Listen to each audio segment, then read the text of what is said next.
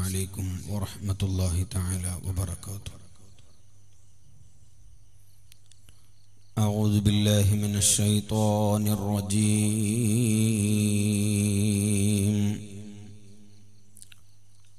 بسم الله الرحمن الرحيم. الحمد لله رب العالمين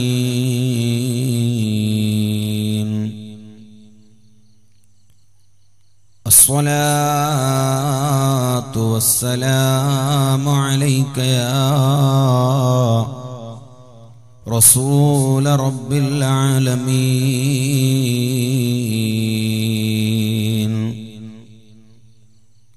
الصلاة والسلام عليك يا شفيع المذنبين.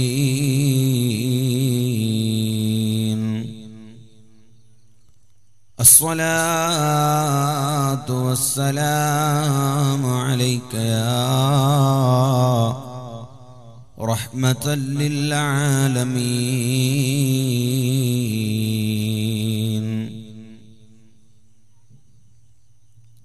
أعوذ بالله من الشيطان الرجيم. بسم الله الرحمن الرحيم.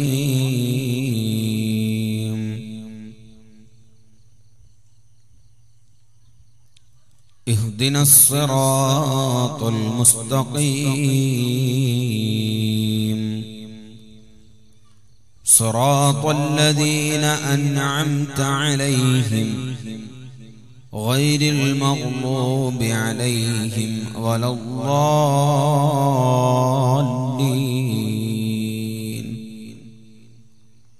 صدق الله العلي العظيم. وصدق وبلغ رسوله النبي الكريم. ونحن على ذلك من الشاهدين الشاكرين. والحمد لله رب العالمين.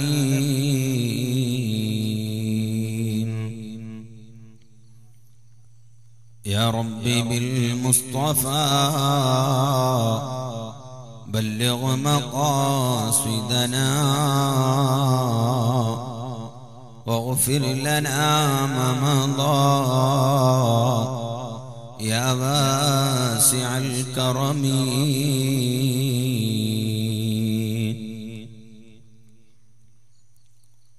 സമാദരണീയരായ പണ്ഡിത മഹത്തുക്കളെ നാട്ടിലെ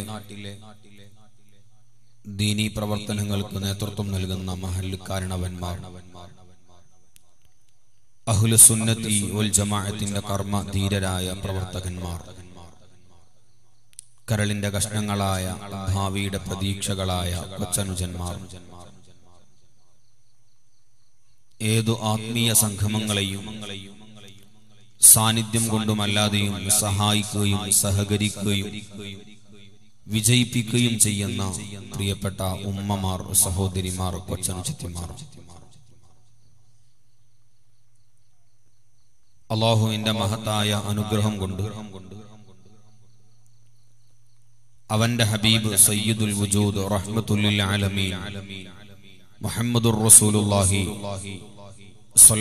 അലൈഹി വസല്ലമ തങ്ങളെ മധുഹു പറയുന്ന അവിടുത്തെ പേരിൽ സംഘടിപ്പിക്കപ്പെട്ട മജിലിസം ഒരുമിച്ചുകൂടാൻ അള്ളാഹു നമുക്ക് ഭാഗ്യം നൽകിയിരിക്കുകയാണ്. നല്ലത് പറയാനും നല്ലത് കേൾക്കാനും അതിലുപരിയായി നല്ലത് ജീവിതത്തിൽ പകർത്താനും. അവസാനം നല്ലവർ മാത്രം ഒരുമിച്ചുകൂടുന്ന സുഖലോക സ്വർഗത്തിൽ മാതാപിതാക്കൾ ഗുരുജനങ്ങൾ സ്നേഹിച്ചവർ സഹായിച്ചവർ ഭക്ഷണം തന്നവർ വസ്ത്രം തന്നവർ എല്ലാവരുടെയും കൂടെ നാളെ സുഖലോക സ്വർഗത്തിൽ ഒരുമിച്ചുകൂടാൻ അള്ളാഹു നമുക്ക് ഭാഗ്യം നൽകുമാറാവട്ടെ. എന്ന് ആമുഖമായി ദുആ ചെയ്യുകയാണ്. എല്ലാ വർഷവും നേരത്തെ ഉദ്ഘാട ഭാഷകൻ പറഞ്ഞതുപോലെ മുത്തുനബി സൊല്ലാഹു അലൈ വസല്ലമ തങ്ങളെ കുറിച്ച് പഠിക്കുകയും അവിടുത്തെ മധുഹുകൾ ധാരാളമായി പറഞ്ഞുകൊണ്ടിരിക്കുകയും ചെയ്യുന്നുണ്ട്. എന്തിനു വേണ്ടിയാണ് എല്ലാ വർഷവും ഇതുപോലെ മുത്തുനബിയെ പഠനവിധേയമാക്കുന്നത്? അവിടുത്തെ അപധാനങ്ങൾ പാടി പറഞ്ഞുകൊണ്ടിരിക്കുന്നത് എന്തിനു വേണ്ടി? അതിനുള്ള മറുപടി വിശുദ്ധ ഖുർആാനിൽ ഒന്നാമത്തെ അധ്യായത്തിൽ തന്നെ. അള്ളാഹു സുബാനുഹുവ തആല നമ്മെ പഠിപ്പിക്കുന്നുണ്ട്. എല്ലാ മുസ്ലിമും എല്ലാ ദിവസവും പതിനേഴ് പ്രാവശ്യം നിർബന്ധമായി പ്രാർത്ഥിക്കേണ്ട പ്രാർത്ഥനയാണ് മുസ്തഖീം. പടച്ചവനെ ലോകത്തൊരുപാട് മതങ്ങളുണ്ട് പ്രത്യേക ശാസ്ത്രങ്ങളുണ്ട്. നേതാക്കളുണ്ട് സംഘടനകളുണ്ട്. എല്ലാവരും ക്ഷണിക്കുന്നത് സ്വർഗത്തിലേക്കാണ്. ഒരാളും ഞങ്ങളെ കൂടെ വന്നാൽ നരകത്തിൽ പോകുമെന്നാരും പറയുന്നില്ല. എല്ലാവരും സ്വർഗത്തിലേക്കാണ് ക്ഷണിക്കുന്നത്. അങ്ങനെ ഒരുപാട് മതങ്ങളുള്ള പ്രത്യേക ശാസ്ത്രങ്ങളുള്ള നേതാക്കളുള്ള സംഘടനയുള്ള ഈ ആധുനിക ലോകത്ത്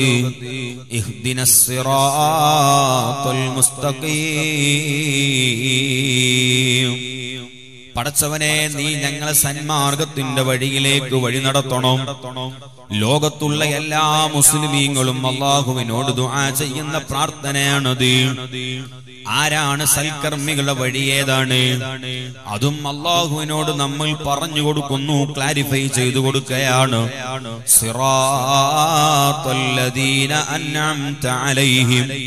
ഏതാണ് ഞങ്ങളെ വഴി നടത്തേണ്ട റൂട്ട് ഏതാണ്? നീ അനുഗ്രഹിച്ചവരുടെ വഴിയാണല്ലോ. നീ അനുഗ്രഹിച്ചവരുടെ വഴിയിലേക്ക് ഞങ്ങളെ വഴി നടത്തണം. ആരാണ് അള്ളാഹു താല അനുഗ്രഹിക്കാത്തവരാരാണ് ലോകത്തുള്ളത്? എല്ലാവരും അള്ളാഹുവിന്റെ അനുഗ്രഹത്തിലാണ് ജീവിച്ചു കൊണ്ടിരിക്കുന്നത് ഈ പ്രസംഗിക്കുന്നവൻ അള്ളാഹുവിന്റെ അനുഗ്രഹം കൊണ്ടാണ് പ്രസംഗിക്കുന്നത്. ആ അനുഗ്രഹമാണോ അള്ളഹാനോട് ചോദിക്കുന്നത്? അല്ല. നിങ്ങൾ എന്റെ പ്രസംഗം കേട്ടുകൊണ്ടിരിക്കുന്നു. അതാരുടെയും സ്വന്തം കഴിവല്ല. അല്ല തന്ന കഴിവ് കൊണ്ടാണ്. എന്ന് പറഞ്ഞാൽ നീ ഞങ്ങളെ നല്ലൊരു പ്രഭാഷകനാക്കണമെന്നല്ല ശ്രോതാവാക്കണമെന്നല്ല. ഇതുപോലെ നല്ല ആരോഗ്യമുണ്ട് സമ്പത്തുണ്ട് സൗന്ദര്യമുണ്ട് അറിവുണ്ട് പാണ്ഡിത്യമുണ്ട്. ഇതെല്ലാം അള്ളാഹുവിന്റെ അനുഗ്രഹമാണ്. പക്ഷേ മുസ്തഖീം എന്ന് പറഞ്ഞാൽ നീ ഞങ്ങളെ നല്ല പ്രഭാഷകനാക്കണമെന്നല്ല ശ്രോതാവാക്കണമെന്നല്ല ഞങ്ങൾക്ക് നല്ല ആരോഗ്യം തരണമെന്നല്ല. നല്ല സമ്പത്തു തരണമെന്നല്ല. പിന്നെയോ ആരുടെ വഴിയിലേക്കാണ് ഞങ്ങളെ വഴി നടത്തേണ്ടത്? അതും വിശുദ്ധ ഖുർആൻ തന്നെ പറയുകയാണ്. അൻഅമല്ലാഹു മിനൻ നബിയീന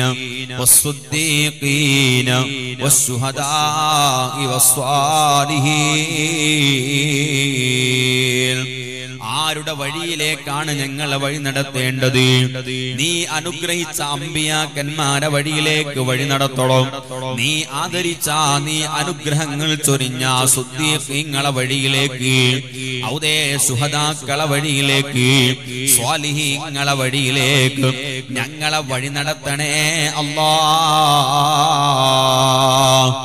ഇതാണ് ലോകത്തുള്ള മുഴുവൻ മുസ്ലിമീങ്ങളും എല്ലാ ദിവസവും നിസ്കാരത്തിൽ നിർബന്ധമായി ഫാത്തിഹയിലൂടെ പറയുന്നുണ്ട്. ഇപ്പോൾ ഇവിടെ നമ്മൾ ദുആ ചെയ്യാൻ വേണ്ടി ഫാത്തിഹ വിളിച്ചപ്പോൾ അപ്പോഴും നമ്മൾ അള്ളഹാനോട് പറഞ്ഞത് സിറാത്തുൽ മുസ്തഖീം. അമ്പിയാക്കന്മാരെ വഴിയിലേക്ക് ഞങ്ങളെ വഴി നടത്തണേ അല്ലാ ആ അമ്പിയാക്കന്മാരെ വഴി ഏതാണെന്ന് പഠിക്കണം. അതിനാണ് അമ്പിയാക്കന്മാരെ കുറിച്ച് പഠനം നടത്തുന്നത്.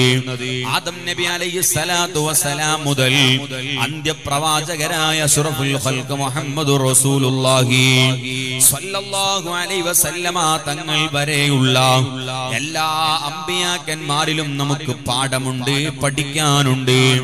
എന്നാൽ പിന്നെ അമ്പിയാക്കന്മാരിൽ നേതാവായ മുത്തുനബിയെ കുറിച്ച് പറയാനില്ലല്ലോ. ആ മുത്തുനബിയെ കുറിച്ചാണ് ആദ്യമായൊരു കുട്ടി പഠിക്കേണ്ടത്.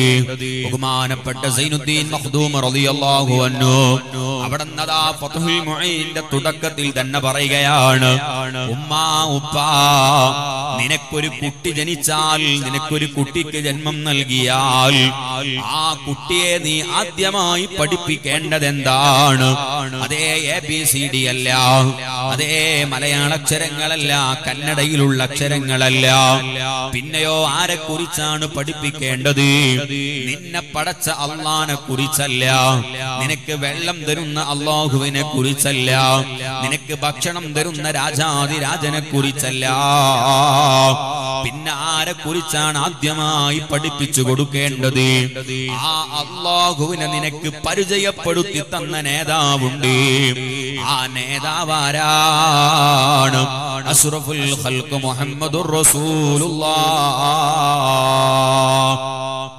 സല്ലല്ലാഹു അലൈഹി വസല്ലം ആദ്യമായി ഒരു കുട്ടി പരിചയപ്പെടേണ്ടത്. അപ്പൊ ചില ആളുകൾക്ക് ഒരു സംശയം അല്ല ഇത് അള്ളാനേക്കാൾ വലിയ സ്ഥാനം മുത്തുനബിക്ക് കൊടുത്തതാകൂലേ? എന്തൊരു അപരാധമാണ് പറയുന്നത്? അള്ളാനെ പഠിക്കുന്നതിന് മുൻപ് മുത്തുനബിയെ പഠിക്കണമെന്ന് പറഞ്ഞാൽ അതൊരു മുസ്ലിമിന് അംഗീകരിക്കാൻ പറ്റുമോ എന്നാണ് ചില ആളുകൾ ചോദിക്കുന്നത്. എന്നാൽ എന്റെ പ്രിയപ്പെട്ട ശബ്ദം ശവിക്കുന്ന മുഗ്മിനീങ്ങളോട് ചോദിക്കട്ടെ? എന്നെ പടച്ചതെന്റെ അള്ളയാണെന്ന് എനിക്കറിയാം. എനിക്ക് വെള്ളം തരുന്നവൻ അള്ളയാണെന്നറിയാം. എനിക്ക് ഭക്ഷണം തരുന്നവൻ അള്ളയാണെന്നറിയാം. എനിക്കെല്ലാ സംവിധാനങ്ങളും ഒരുക്കി തന്നതെന്റെ രാജാവായ റബ്ബാണെന്ന് എനിക്കറിയാം. പക്ഷേ ആ അള്ളാഹുവിനെ ഇതുവരെ ഞാൻ കണ്ടിട്ടില്ലല്ലോ. ഇതുവരെ ഞാൻ എന്റെ റബ്ബിനെ ഒന്ന് തൊട്ടു നോക്കിയിട്ടില്ലല്ലോ ഇതുവരെ ആ റബ്ബിന്റെ ശബ്ദം ഞാൻ നേരിട്ട് കേട്ടിട്ടില്ലല്ലോ. ഇതുവരെ ഞാൻ ആ റബ്ബിനെ ഇതുവരെ മണത്തറിഞ്ഞിട്ടില്ലല്ലോ. ഇങ്ങനെ എന്റെ പഞ്ചേന്ദ്രിയങ്ങളെ കൊണ്ടൊന്നും എന്റെ രാജാതിരാജനായ അള്ളാഹുവിനെ ഞാൻ അറിഞ്ഞിട്ടില്ല. ഇതുവരെ കണ്ടിട്ടില്ല. ഇതുവരെ കേട്ടിട്ടില്ല. തൊട്ടറിഞ്ഞിട്ടില്ല. എങ്ങനെയാണ് ഞാൻ എന്റെ റബ്ബിനെ അറിഞ്ഞത്? ആ റബ്ബിനെ എനിക്ക് പരിചയപ്പെടുത്തി തന്നൊരു നേതാവുണ്ട്. അതാണ് മുഹമ്മദുർ റസൂലുള്ളാഹ് أرسلناك شاهدا ومبشرا ونذيرا وداعيا إلى الله بإذنه وسراجا منيرا ഇതുവരെ കാണാത്ത എന്റെ റബ്ബേ. ഞാൻ ഇതുവരെ കേൾക്കാത്ത എന്റെ റബ്ബേ. ഇതുവരെ തൊട്ടറിയാത്ത എന്റെ റബ്ബേ. ആ റബ്ബിനെ എനിക്ക് പരിചയപ്പെടുത്തി തന്നത് എന്റെ മുത്തുനബിയാണ്. അതുകൊണ്ട് ആദ്യമായി ഞാൻ എന്റെ മുത്തുനബിയെ പഠിക്കണം. അപ്പോഴല്ലേ മുത്തുനബി പറഞ്ഞു തന്ന കാര്യങ്ങളെ പഠിക്കാൻ കഴിയൂ. അതേ എന്റെ വലതുഭാഗത്ത് മലക്കെഴുതുന്നുണ്ടെന്ന് ഞാൻ വിശ്വസിക്കുന്നുണ്ട്. എന്റെ ഇടതുഭാഗത്തൊരു മലക്കുണ്ടെന്ന് ഞാൻ വിശ്വസിക്കുന്നുണ്ട്. പക്ഷേ ഇതുവരെ ഞാനൊരു മലക്കിനെയും കണ്ടിട്ടില്ല. ഒരു മലക്കിനെയും ഞാൻ നേരിട്ട് കേട്ടിട്ടില്ല. പിന്നെ ഞാൻ എങ്ങനെയാണ് ആ മലക്കുകളെ വിശ്വസിക്കുന്നത്? ഒരിക്കലും കളവ് പറയില്ലെന്ന് ഞാൻ ചെറുപ്പത്തിലെ പഠിച്ചു വെച്ച എന്റെ നേതാവുണ്ട് ഹബീബ് വസല്ലമ തങ്ങളാണ് ആ നേതാവ്. ആ നേതാവ് പറഞ്ഞിട്ടുണ്ട്. അതുകൊണ്ട് എനിക്ക് രണ്ടാമതൊന്ന് ആലോചിക്കേണ്ടതില്ല. ഞാൻ മലക്കുകളിൽ വിശ്വസിക്കുന്നുണ്ട്. എനിക്ക് പൂർവീകരായ ലക്ഷക്കണക്കിന് പ്രവാചകന്മാരുണ്ടെന്ന അറിവില്ല. പക്ഷേ ഞാൻ കണ്ടറിവും കേട്ടറിവും ഒന്നും എനിക്കില്ലെങ്കിലും എന്റെ ഹബീബായ മുത്തുനബി പഠിപ്പിച്ചു തന്നിട്ടുണ്ട്. അതുകൊണ്ട് ഞാൻ ആ അമ്പിയാക്കന്മാരിൽ വിശ്വസിക്കുന്നുണ്ട്. അതേ ഞാൻ രാവിലെ മുസ്ഹഫ് എടുത്ത് ഖുർആൻ എടുത്ത് പാരായണം ചെയ്യുമ്പോൾ ആ മുസ്ഹബ് ഇല്ലാതെ തൊടാൻ പാടില്ലെന്ന് എനിക്കറിയാം. പക്ഷേ മറിച്ചു നോക്കുമ്പോഴോ സാധാരണ അറബി അക്ഷരങ്ങളെ പോലെയാണ് അതിൽ കാണുന്നത്. സാധാരണ അറബി പോലെയാണ് കിതാബിൽ കാണുന്നത്. പക്ഷേ വുളൂ ഇല്ലാതെ തൊട്ടുകൂടാ. ജനാപത്തുകാർക്ക് അതിൽ നിന്നൊരക്ഷരവും ഖുർആനാണെന്ന കരുത്തോടെ ഓതിക്കൂടാ. എന്തേ കാരണം? ആ ഖുർആൻ അള്ളാഹുവിൽ നിന്ന് ജിബിരിൽ അലൈഹിസ്സലാം മുഖേന എന്റെ നേതാവായ മുത്തുനബി സല്ലല്ലാഹു അലൈഹി വസല്ലമ തങ്ങൾക്ക് കിട്ടിയതാണ്. പക്ഷേ ഞാൻ കണ്ടിട്ടില്ലല്ലോ ഇറങ്ങി വരുന്നത്. എന്നാൽ അതും എന്നെ പഠിപ്പിച്ചൊരു നേതാവുണ്ട് മുഹമ്മദ് റസൂലുള്ളാഹി. സല്ലല്ലാഹു അലൈഹി വസല്ലമ തങ്ങളാണ് ആ നേതാവ്. എന്റെ വാപ്പ മരണപ്പെട്ടിട്ട് രണ്ടു വർഷം തികയാൻ പോകുന്നുണ്ട്. ആ വാപ്പ ഇതുവരെ മടങ്ങി വന്നിട്ടില്ല. പക്ഷേ ഇപ്പോഴും ഞാൻ നിസ്കരിക്കാറുണ്ട് നോമ്പെടുക്കാറുണ്ട്. എന്റെ പൂർവീകരാരും തന്നെ മരിച്ചവർ തിരിച്ചു വന്നതായി അറിവില്ല. പിന്നെ എങ്ങനെയാണ് ആ നരകം ഞാൻ വിശ്വസിക്കുന്നത്? ആ സ്വർഗം ഞാൻ എങ്ങനെയാണ് വിശ്വസിക്കുന്നത്? അതേ സ്വർഗവും നരകവും ഒക്കെ കണ്ടുവന്നൊരു നേതാവുണ്ട്. ആ നേതാവാണ് അലൈഹി വസല്ലമ തങ്ങൾ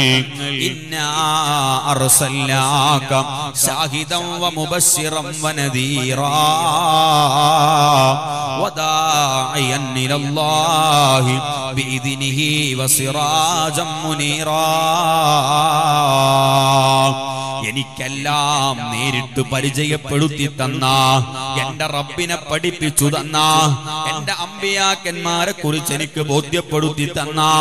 എനിക്ക് മുസ്ഹഫിനെ കുറിച്ച് പഠിപ്പിച്ചു തന്ന. ആ മുത്തു നബിയെയാണ് ഞാൻ ആദ്യമായി പഠിക്കേണ്ടത്. എന്റെ മക്കൾക്ക് പഠിപ്പിച്ചു കൊടുക്കേണ്ടത്.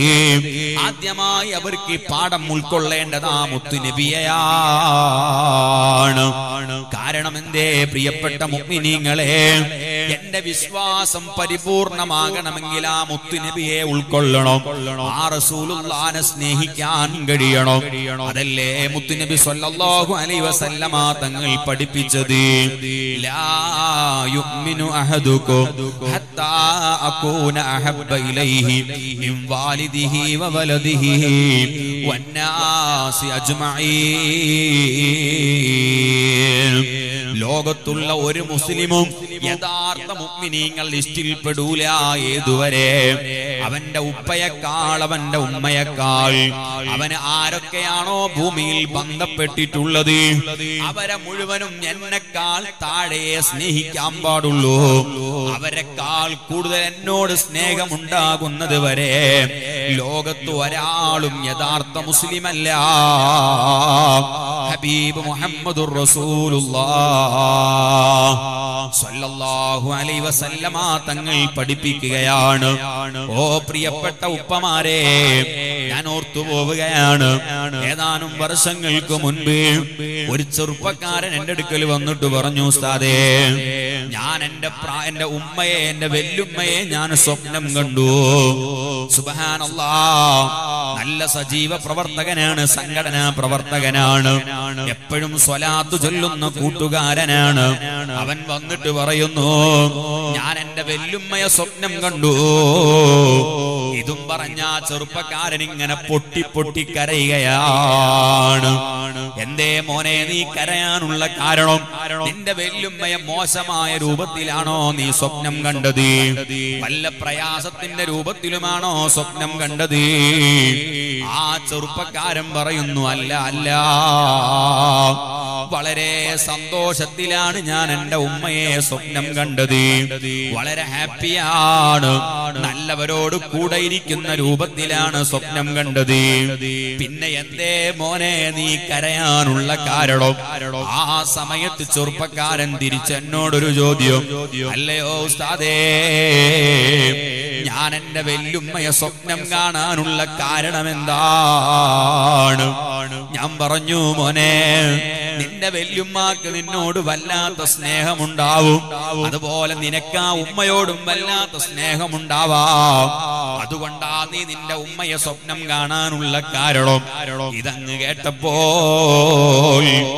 ആ ചെറുപ്പക്കാരൻ തേങ്ങി തേങ്ങി കരഞ്ഞുകൊണ്ട് പറയുകയാണ് ഇതാ ഞാൻ ഈ ഭൂമി ലോകത്തേക്ക് ജനിച്ചു വീണപ്പോൾ ആദ്യമായി എന്റെ വലതു ചെവിയിൽ കേട്ടൊരു ശബ്ദമുണ്ട്.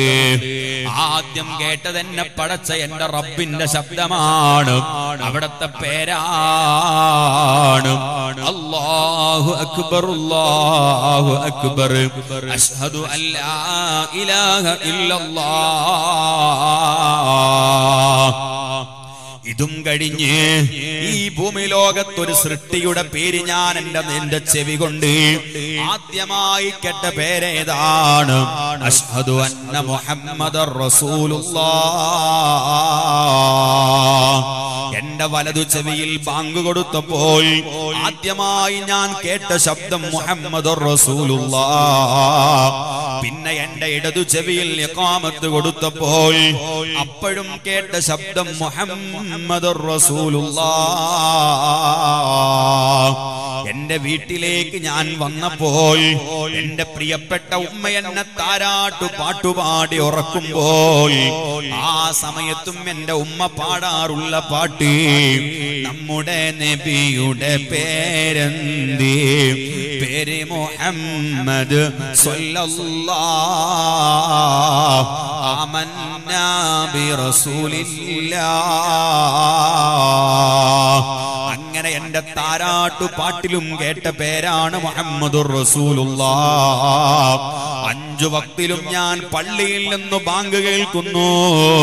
അപ്പോഴും മുഹമ്മദ് എന്റെ ഉപ്പയുടെ കൈയും പിടിച്ചു പള്ളിയിലേക്ക് പോകാൻ തുടങ്ങിയപ്പോൾ അവിടെ കാമത്തിലും മുഹമ്മദ് നിസ്കരിക്കാൻ തുടങ്ങിയപ്പോഴോ അപ്പോഴും അതാ സലാം ആ റസൂലുള്ളാന്റെ പേര് വിളിച്ച് സലാം പറയുന്നു. അസ്ലാഹുമ്മ സല്ലി അലാ സയ്യിദിനാ മുഹമ്മദിൻ പിന്നെ റസൂലുള്ളാന്റെ പേരിൽ സ്വലാത്ത് ചൊല്ലുന്നു. അങ്ങനെ നമ്മൾ അറിയാതെയും അറിഞ്ഞുകൊണ്ടും ഓരോ ദിവസവും എത്ര പ്രാവശ്യമാണ് മുത്തുനബിയുടെ പേര് കേൾക്കുന്നത്? ആ ചെറുപ്പക്കാരൻ പറയുകയാണ് എത്ര പ്രാവശ്യമാണ് സ്വലാത്ത് ചൊല്ലുന്നത് സലാം പറയുന്നത്? അങ്ങനെ ഒരുപാട് ഒരുപാട് തവണ കേൾക്കുന്ന പറയുന്ന ആ മുത്തുനബിയെ ഇതുവരെ എനിക്കൊന്ന് കാണാൻ പറ്റിയില്ലല്ലോ. ഉമ്മയെ കാണുന്നുണ്ട് വാപ്പയെ കാണുന്നുണ്ട് മക്കളെ കാണുന്നുണ്ട് വേണ്ടപ്പെട്ടവരെ കാണുന്നുണ്ട്. ഓ എന്റെ ശബ്ദം ശവിക്കുന്ന ഉപ്പമാരെ എത്ര കൊല്ലമായി ഞാനും നിങ്ങളും നിസ്കരിക്കാൻ തുടങ്ങിയിട്ട്. എത്ര കാലമായി റബിയുൽ വരുമ്പോൾ നമ്മൾ മൗലിത് പാരായണം ചെയ്യുന്നുണ്ട്. അതിലേക്ക് മധുരം കൊടുക്കുന്നുണ്ട് സംഭാവന കൊടുക്കുന്നുണ്ട്. ആ റസൂലുള്ളാന്റെ മധു പറയുന്നുണ്ട് കേൾക്കുന്നുണ്ട് പാടുന്നുണ്ട്. പക്ഷേ ഇത്രയും കാലം നിസ്കരിച്ചിട്ട് ബാങ്കു കേട്ടിട്ട് ആ മുത്തുനബിയെ ഒരു പ്രാവശ്യമെങ്കിലും നമുക്കൊന്ന് മനാമിൽ കാണാനെങ്കിലും ഭാഗ്യം ലഭിച്ചോ? വാപ്പയെ കാണുന്നത് വാപ്പയോടുള്ള ഇഷ്ടം കൊണ്ടാണെങ്കിൽ ഉമ്മയെ സ്വപ്നം കാണുന്നത് ഉമ്മയോടുള്ള ഇഷ്ടം കൊണ്ടാണെങ്കിൽ മക്കളെ കാണുന്നത് മക്കളോടുള്ള ഇഷ്ടം കൊണ്ടാണെങ്കിൽ നമ്മൾ എന്തേ നമ്മളെ ഹബീബിനെ കാണാത്തത്? ആ മുത്തിനോടുള്ള പ്രണയം നമ്മളെ മനസ്സിലേക്ക് കയറിയിട്ടില്ലെന്നല്ലേ അതിനർത്ഥോ? അങ്ങനെ വന്നാലോ? ലാ യുഅ്മിനു അഹദുക്കും ഹത്താ അകൂന അഹബ്ബ ഇലൈഹി മിൻ വാലിദിഹി വവലദിഹി വന്നാസി أجمعين. ലോകത്ത് എല്ലാത്തിനേക്കാളും ആ ഹബീബിനോടുള്ള പ്രണയം നമ്മളെ മനസ്സിലേക്ക് വന്നിട്ടില്ലെങ്കിൽ നമ്മളെ ഈമാൻ പരിപൂർണമല്ല. എന്തിനാണ് ആ മുത്തുനബിയെ നമ്മൾ പ്രണയിക്കുന്നത്? ഓ എന്റെ പ്രിയപ്പെട്ട ഉമ്മമാരെ എന്റെ ചെറുപ്പക്കാരെ ഉപ്പമാരെ പ്രണയിക്കാൻ പല കാരണങ്ങളുമുണ്ട്. പ്രണയിക്കാൻ ഏറ്റവും വലിയ കാരണം ഒന്ന് സൗന്ദര്യമാണ്. സൗന്ദര്യം കൊണ്ടാണ് പലരെയും നമ്മൾ പ്രണയിക്കാറുള്ളത്. എന്നാൽ മുത്തുനബിയേക്കാൾ സൗന്ദര്യമുള്ളതാരാണ് ലോകത്തുള്ളത്? ആ റസൂലുള്ളാന്റെ സൗന്ദര്യം സ്വഹാബത്ത് എത്രയാണ് വർണിച്ചു പറയുന്നത്? അവിടത്തെ കയ്യിനെ കുറിച്ച് പറയുന്നു. ഒരുപാട് പട്ടുകൾ ഞങ്ങൾ തൊട്ടു നോക്കിയിട്ടുണ്ട്. ഞങ്ങളെ കൈകൊണ്ട് ഒരുപാട് പട്ട് ഞങ്ങൾ സ്പർശിച്ചിട്ടുണ്ട്. പക്ഷേ ഹബീബായ നബി സല്ലല്ലാഹു അലൈഹി വസല്ലമ തങ്ങളെ കയ്യിനേക്കാൾ മിനുസമുള്ളൊരു പട്ടിലും ഇതുവരെ ഞങ്ങൾ തൊട്ടു നോക്കിയിട്ടില്ല. ഒന്നാലോചിക്കൂ എന്റെ പ്രിയപ്പെട്ട ഉപ്പമാരെ. ഇന്നു രാത്രിയിൽ നമ്മൾ കിടന്നുറങ്ങുമ്പോൾ നമ്മളെ മനസ്സിൽ നിന്ന് വേണ്ടാത്ത ചിന്തകളൊക്കെ മാറ്റിവെച്ച് ചെറുപ്പക്കാരെ അശ്ലീലമായ ചിന്തകളൊക്കെ മാറ്റിവെച്ച് നാവിൽ സ്വലാത്തുകൾ ധാരാളം ചൊല്ലി ചൊല്ലി ആ ഹബീബായ മുത്തുനബി നമ്മളെ ഒന്ന് കാണാൻ വന്നാൽ പട്ടിനേക്കാൾ മിനുസമുള്ള തിരുശരീരത്തിലൊന്ന് തൊടാൻ ഭാഗ്യം കിട്ടിയാൽ നമ്മളെക്കാൾ വലിയ ഭാഗ്യമുള്ളവരാരാണ് സ്വാപത്ത് വർണിച്ചു പറയുന്നു ഞങ്ങൾ പഞ്ഞിയിൽ ധാരാളം തൊട്ടു നോക്കിയിട്ടുണ്ട്. പക്ഷേ മുത്തുനബിയുടെ കൈയിനേക്കാൾ സോഫ്റ്റായ ഒരു കയ്യിലും ഞങ്ങൾ തൊട്ടു നോക്കിയിട്ടില്ല. പട്ടിനേക്കാൾ മിനുസമുള്ള പഞ്ഞിയേക്കാൾ സോഫ്റ്റായ ആ ഹബീബ് നബി സല്ലല്ലാഹു അലൈഹി വസല്ലമ തങ്ങളെ കയ്യിൽ സ്വഹാബത്ത് പിന്നെയും ധാരാളം വർണിക്കുന്നുണ്ട്. അവിടുത്തെ ശബ്ദത്തിന്റെ മാധുര്യം എത്രയാണ്? ഇമാം മുസ്ലിം റളിയല്ലാഹു അൻഹു റിപ്പോർട്ട് ചെയ്യുന്ന ഹദീസിൽ കാണാം. സ്വഹാബത്ത് അവിടെ വീട്ടുമുറ്റത്ത് വന്ന് സലാം പറഞ്ഞാൽ മുത്തുനബി സലാം പറഞ്ഞാൽ വീടിനകത്തുള്ള സ്വഹാബത്ത് അവർ സലാം മടക്കുന്നില്ല പതുക്കെയാണ് മടക്കുന്നത്. കാരണം എന്തേ? ഒരേ ഉച്ചത്തിൽ ശബ്ദത്തിൽ സലാം മടക്കിയാൽ പിന്നെ മുത്തുനബിയുടെ ശബ്ദം കേൾക്കൂലല്ലോ. സലാം മടക്കിയാൽ പിന്നെ ചിലപ്പൊന്നും പറയില്ലല്ലോ. അതുകൊണ്ട് സ്വഹാബത്ത് അവിടെ നിന്നതാ പതുക്കെ സലാം അടക്കുന്നു. രണ്ടാമതും സലാം പറഞ്ഞാൽ സലാം അടക്കുന്നില്ല. മൂന്നാമത് സലാം പറഞ്ഞാൽ വീട്ടിൽ ആളില്ലെന്ന് കരുതി തിരിച്ചു പോരാൻ വേണ്ടി കാത്തു നിൽക്കുമ്പോൾ വീടിന്റെ കഥക് തുറന്ന് വാതിൽ തുറന്ന് സ്വാപത്ത് വീടിന് പുറത്തേക്ക് വെളിയിലേക്ക് വരുന്നു. എന്നിട്ട് പറയുന്നു നബിയേ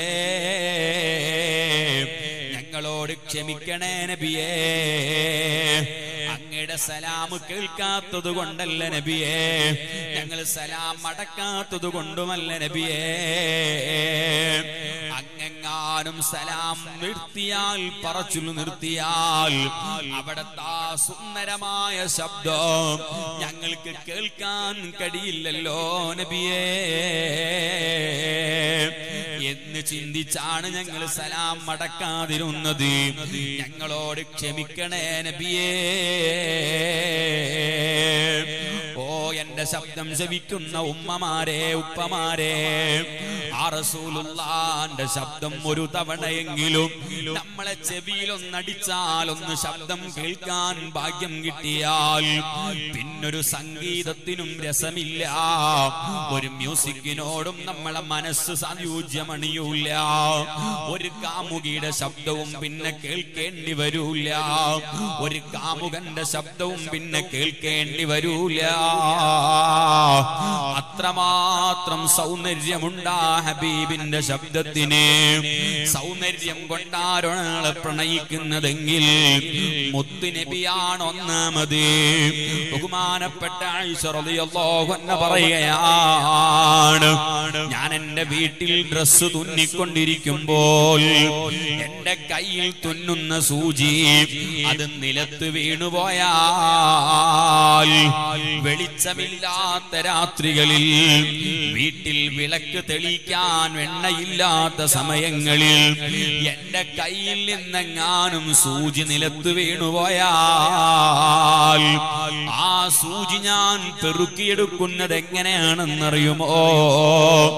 എന്റെ ഹബീബ് വീട്ടിലേക്ക് വരുമ്പോൾ എന്റെ പ്രിയപ്പെട്ട ഭർത്താവ് ലോകത്തിന്റെ നേതാവ് അഷ്റഫുൽ ഖൽക് മുഹമ്മദുർ റസൂലുള്ളാഹി അലൈഹി വസല്ലമ തങ്ങൾ വീട്ടിലേക്ക് വരുമ്പോൾ അവിടത്തെ പ്രഭ കൊണ്ട് പ്രകാശം കൊണ്ട് നിലത്ത് വീണുപോയ സൂചി ഞാൻ പെറുക്കിയെടുക്കാറുണ്ടേ.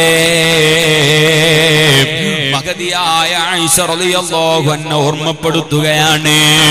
അപ്പൊ ചില ആളുകൾക്കൊരു സംശയം അങ്ങനെ ഒരാൾക്ക് പ്രകാശമുണ്ടാകുമോ? മനുഷ്യർക്ക് പ്രകാശമുണ്ടാകുമോ?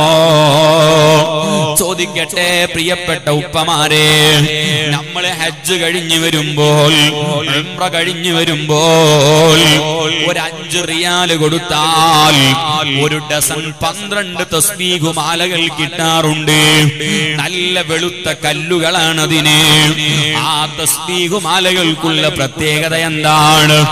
നമ്മൾ പള്ളിയിലെ മുസല്ലയിലിരുന്ന് അല്ലെങ്കിൽ വീടിന്റെ റൂമിലിരുന്ന് തസ്ബീഹുമാലയും പിടിച്ച് തസ്ബീഹ് ചൊല്ലിക്കൊണ്ടിരിക്കുമ്പോൾ പെട്ടെന്നങ്ങ് കരണ്ട് പോയാൽ വെളിച്ചം മണഞ്ഞു പോയാൽ ചിലപ്പോ നമ്മളെ കാണൂല എന്നാൽ നമ്മളെ കയ്യിലുള്ള തസ്ബീഹുമാലകൾ കാണാം. ആ മുത്തുകൾ പ്രകാശിക്കുന്നത് കാണാം. ആ മാലയിലേക്ക് ഒരു വയറും ഫിറ്റു ചെയ്തിട്ടില്ല. ഒരു ബൾബും അതിലേക്ക് കണക്ട് ചെയ്തിട്ടില്ല. പക്ഷേ അതിലെ മുത്തുകൾ പ്രകാശിക്കുന്നുണ്ട്. നമ്മളുണ്ടാക്കിയ മുത്തുകൾക്ക് പ്രകാശിക്കാമെങ്കിൽ മനുഷ്യർ നിർമ്മിച്ച മുത്തുകൾക്ക് വയറില്ലാതെ ലൈറ്റ് ഇല്ലാതെ അതിന് തിളങ്ങാമെങ്കിൽ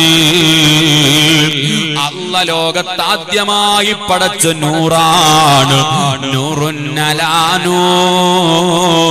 നൂറുന്നലാനൂർ എല്ലാ പ്രകാശത്തിനുമേലെ പ്രഭ പരത്തുന്ന ലോകത്തിന്റെ നേതാവ് മുഹമ്മദ്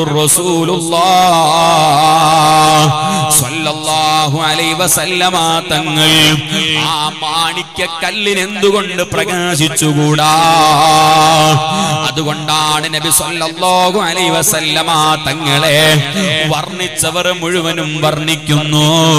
അവസാനം അവർ പേദ പേന മടക്കി വെക്കുമ്പോൾ അവരെഴുതിയ പുസ്തകം പൂട്ടി വെക്കുമ്പോൾ അവസാനം പറഞ്ഞ് പത്തി മടക്കുന്നു. അന്ത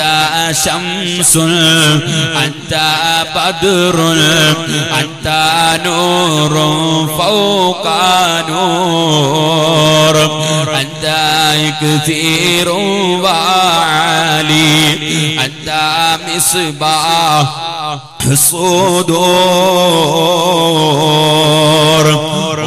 പ്രിയപ്പെട്ട നബിയേ അങ്ങയുടെ മധുഹു പറയാൻ വേണ്ടി പേനെടുത്തത് അബദ്ധമാണ്. അത് പറഞ്ഞു തീർക്കാൻ സാധ്യമല്ല. അതിനെ ഉപമിക്കാൻ സാധ്യമല്ല. അതുകൊണ്ട് അന്ത ശംസുൽ അന്ത ബദുറുൽ.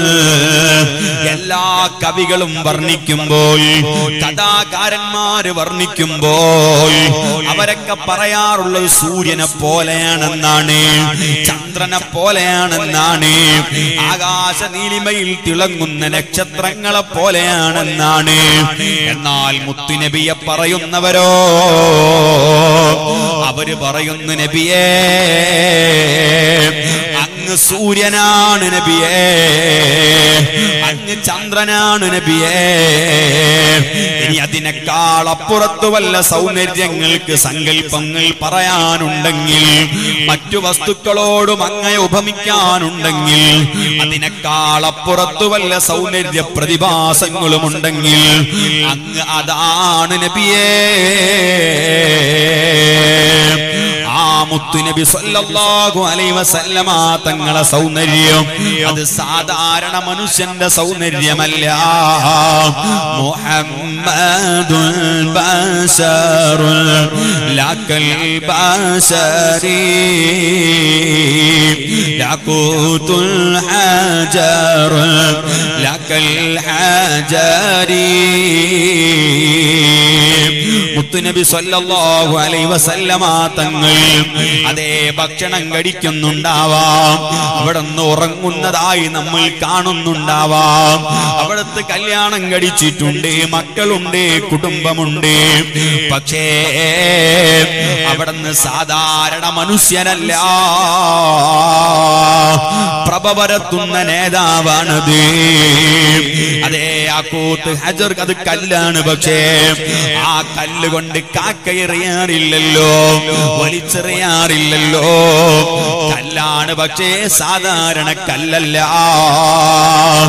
അതുകൊണ്ട് എന്റെ പ്രിയപ്പെട്ട ചെറുപ്പക്കാരെ സൗന്ദര്യം കൊണ്ടാണ് നമ്മളൊരാളെ പ്രണയിക്കുന്നതെങ്കിൽ പെങ്ങളെ സൗന്ദര്യം കൊണ്ടാണ് ഒരാളെ ഇഷ്ടപ്പെടുന്നതെങ്കിൽ മുഹമ്മദുർ റസൂലുള്ളാഹ്. സ്വല്ലല്ലാഹു അലൈഹി വസല്ലമ തങ്ങൾ അവിടത്തെ കാൽ സൗന്ദര്യമുള്ള ഒരു നേതാവുമില്ല. ഒരു അനുയായുമില്ല ലോകത്തൊരു വസ്തുവുമില്ല. ഇനിയോ നീ ഒരാളെ സ്നേഹിക്കാനുള്ള കാരണം സ്വഭാവത്തിന്റെ ശുദ്ധിയാണോ നീ കാണുന്നത്? എങ്കിൽ അവിടെയും നമ്പർ വണ്ണായി നിൽക്കുന്നത് മുത്തുനബിയാണ്. എന്നെ കുറിച്ച് അഭിപ്രായം പറയേണ്ടതൊന്നെന്റെ ഭാര്യയാണ്. എന്നാൽ മുത്തുനബി സല്ലല്ലാഹു അലൈഹി വസല്ലമ തങ്ങളെ പ്രിയപ്പെട്ട ഭാര്യ. ഖദീജ റളിയല്ലാഹു അന്ന പറയുന്നതായി കാണാം. മുത്തുനബി സല്ലല്ലാഹു അലൈഹി വസല്ലമ തങ്ങൾ പ്രകാശഗിരിയിൽ നിന്ന് ജബലുന്നൂർ പർവതത്തിന്റെ മുകളിൽ നിന്ന് പ്രബോധനത്തിന്റെ ഉത്തരവാദിത്തവുമായി വീട്ടിലേക്ക് തിരിച്ചു വരുമ്പോൾ പ്രിയപ്പെട്ട ഭാര്യ ഹദീജ സമ്മിലൂനീ എന്നെ ഒന്ന് മൂടിത്താ ഹദീജ എന്ന് പറഞ്ഞു വരുന്ന രംഗം ഇമാം ബുഖാരി റിപ്പോർട്ട് ചെയ്യുന്നുണ്ട്. ഇമാം മുസ്ലിം റളിയല്ലാഹു അൻഹു റിപ്പോർട്ട് ചെയ്യുന്നുണ്ട്. അങ്ങനെ നിരവധി ഹദീസുകളിൽ കാണാം. ആ സമയത്ത് ബഹുമാനപ്പെട്ട ഖദീജ റളിയല്ലാഹു അൻഹ പറയുന്നതായി കാണാം. ഓ പ്രിയപ്പെട്ട ഭർത്താവേ ലാ യുഹ്സികല്ലാഹു അബദാ. പേടിക്കണ്ട പ്രിയപ്പെട്ട ഭർത്താവേ. അങ്ങ് ഭയപ്പെടേണ്ടതില്ല. അങ്ങ് അള്ളാഹുട്ടാല കൈവെടിയൂല. കാരണം എന്തേ ഇന്നകലത്തസിലുറഹിമ ഇങ്ങനെ ഇങ്ങനെ ഒൻപതോളം വിശേഷണങ്ങളാണ് പ്രിയപ്പെട്ട ഭാര്യക്ക് പറയാനുള്ളത്. നബിയെ അങ്ങയെ കാരണം അങ്ങ് കുടുംബ ബന്ധം പുലർത്തുന്നവരാണ് നബിയെ. മുത്ത് നബിയെ കുറിച്ച് ധാരാളം പറയാനുണ്ട് പക്ഷേ ഒന്നാമതായി എടുത്തു പറയുന്നു കുടുംബ ബന്ധം മുറിക്കുന്ന സ്വഭാവം മുത്തുനബിക്ക് ഇഷ്ടമല്ല. ഓ പ്രിയപ്പെട്ട ശബ്ദം ശവിക്കുന്ന ഉപ്പമാരെ ഉമ്മമാരെ ആരെങ്കിലും അയൽപ്പക്കാരോട് പിണങ്ങി നിൽക്കുന്നുണ്ടെങ്കിൽ സ്വന്തം ജ്യേഷ്ഠനോടും അനിയനോടും തെറ്റി നിൽക്കുന്നുണ്ടെങ്കിൽ അയൽവാസിയോട് പിണങ്ങി നിൽക്കുന്നവരുണ്ടെങ്കിൽ മാതാപിതാക്കളോട് പിണങ്ങി നിൽക്കുന്നവരുണ്ടെങ്കിൽ പിന്നെ നിങ്ങൾ മൗലിതോതേണ്ടതില്ല നിങ്ങൾ റസൂലുള്ളാന്റെ പേരിൽ സ്വലാത്ത് ചൊല്ലേണ്ടതില്ല. അത്തരക്കാര ഒരു അമലും അള്ളാഹു സ്വീകരിക്കില്ലെന്ന് തിരു ഹബീബ് സല്ലല്ലാഹു അലൈഹി വസല്ലം. അവിടുന്ന് കുടുംബ ബന്ധം പുലർത്തുന്നവരെ ഇഷ്ടമില്ലെന്ന് നിരവധി ഹദീസിൽ കാണാം. അള്ളാന്റെ ഹബീബിന്റെ ജീവിത ചര്യയാണ് പഠിക്കേണ്ടത്. അതാണ്.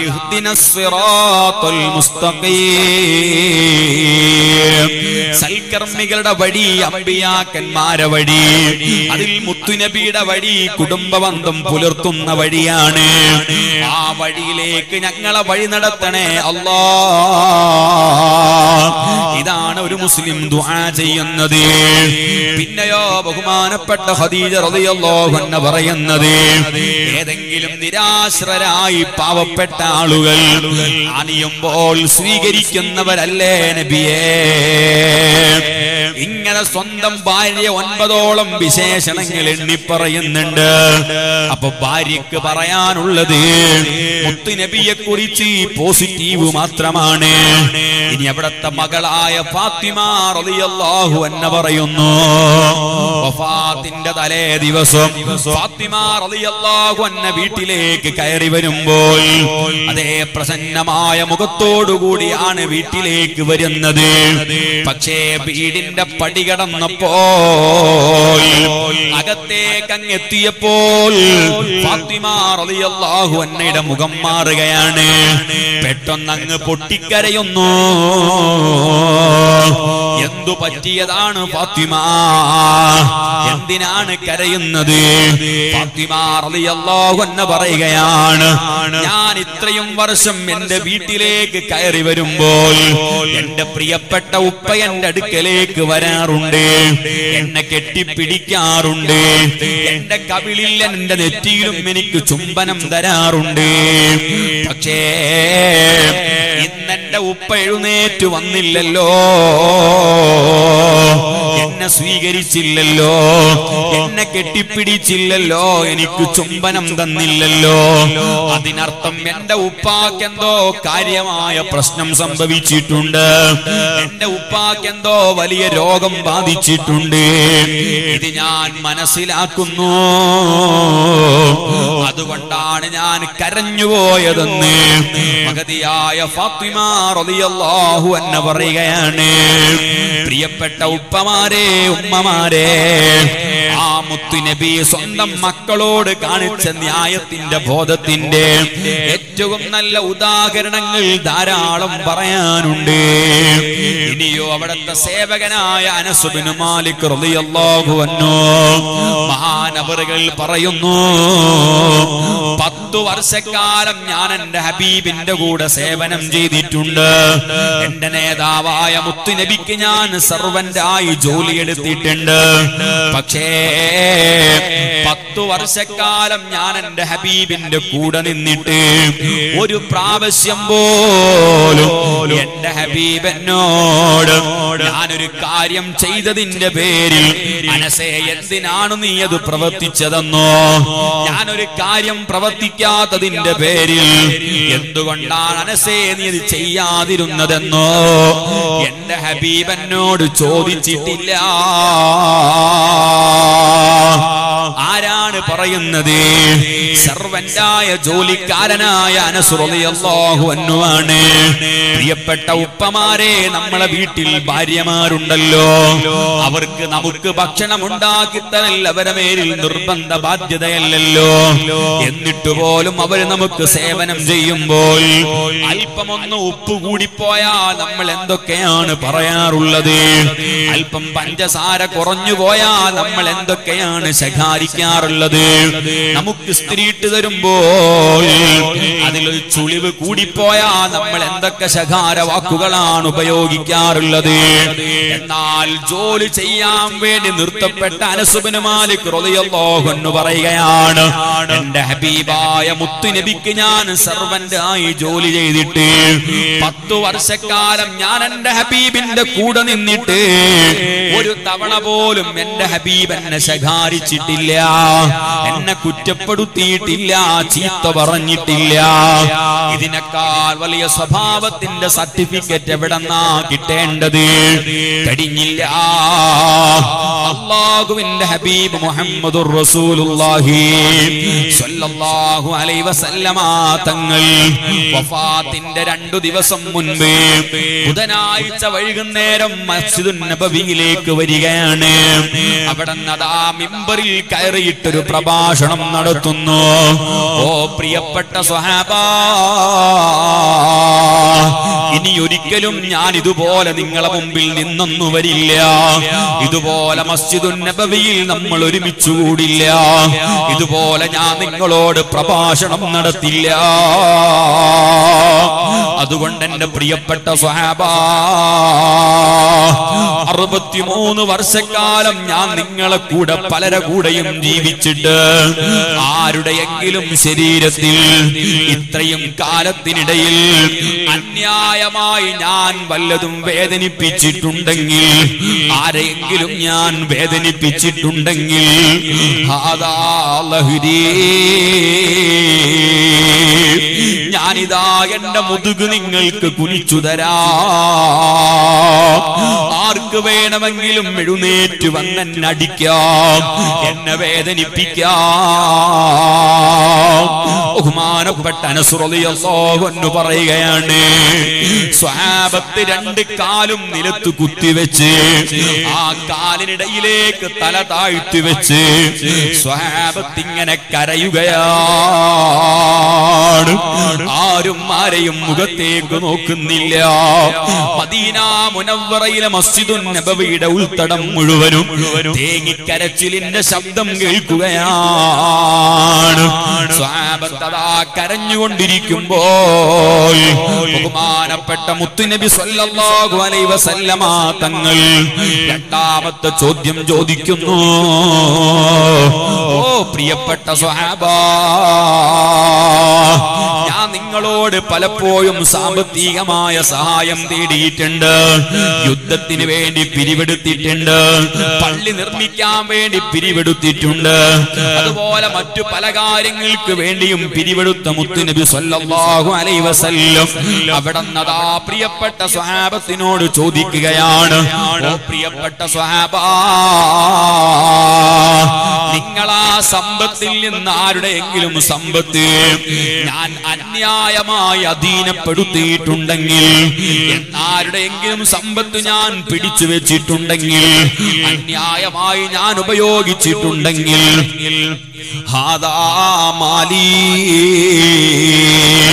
ഇതാ എന്റെ സമ്പത്ത് ഞാൻ നിങ്ങളെ മുമ്പിൽ വെച്ചു തരാം ആർക്ക് വേണമെങ്കിലും സമ്പത്ത് എടുക്കാം സ്വഹാബത്ത് വീണ്ടും വീണ്ടും കരയുന്ന ശബ്ദമാണ് കേൾക്കുന്നത് ഒരൊറ്റ സ്വഹാബിയും എഴുന്നേൽക്കുന്നില്ല. അപ്പ റസൂലുള്ളാഹി തങ്ങൾ മൂന്നാമത്തെ ചോദ്യം ചോദിക്കുകയാണ്. ഓ പ്രിയപ്പെട്ട സ്വഹാബ അറുപത്തിമൂന്ന് കൊല്ലം ഞാൻ നിങ്ങളെ കൂടെ ജീവിച്ചിട്ട് ആരെയെങ്കിലും മനസ്സ് വേദനിപ്പിക്കുന്ന ഒരു വാക്കോ? ആരെയെങ്കിലും മനസ്സ് വേദനിപ്പിക്കുന്ന ഒരു സംസാരമോ? ആരെയെങ്കിലും മനസ്സ് വേദനിപ്പിക്കുന്ന ഒരു പ്രവർത്തനമോ? എന്റെ ഭാഗത്ത് നിന്നുണ്ടായിട്ടുണ്ടോ? ഉണ്ടെങ്കിൽ. എന്റെ ആത്മാഭിമാനം നിങ്ങളെ മുമ്പിൽ വെച്ചു തരാം. നിങ്ങൾക്ക് എന്നെ ചീത്ത വിളിക്കാം. നിങ്ങൾക്ക് എന്നെ പരിഹസിക്കാം. ആര് വേണമെങ്കിലും എഴുന്നേറ്റ് വന്നോ സ്വഹാബ?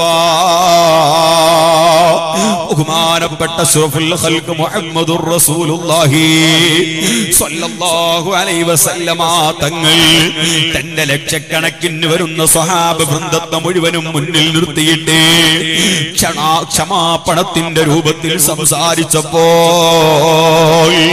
ആ നബിതങ്ങൾ കേവലം ഒരു നേതാവല്ല.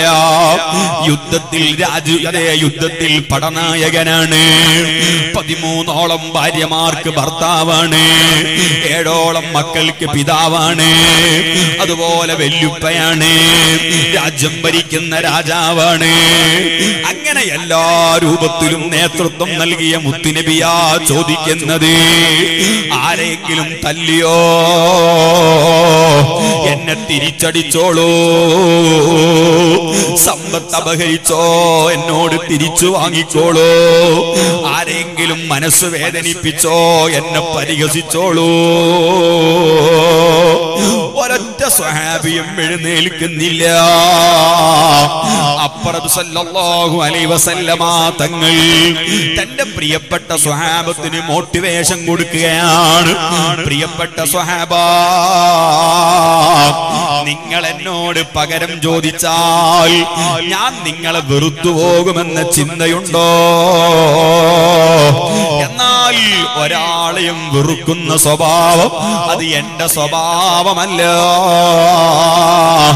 ഞാൻ ഒരാളെയും വെറുക്കൂല സ്വഹാബ. ധൈര്യമായി എഴുന്നേറ്റോ സ്വഹാബ. അപ്പോഴും സ്വഹാബത്ത് എഴുന്നേറ്റില്ല. എന്നാൽ സ്വഹാബത്തിന് വീണ്ടും മോട്ടിവേഷൻ കൊടുക്കുകയാണ്. നിങ്ങൾക്ക് എന്റെ ഇഷ്ടം വേണ്ടേ സ്വഹാബ.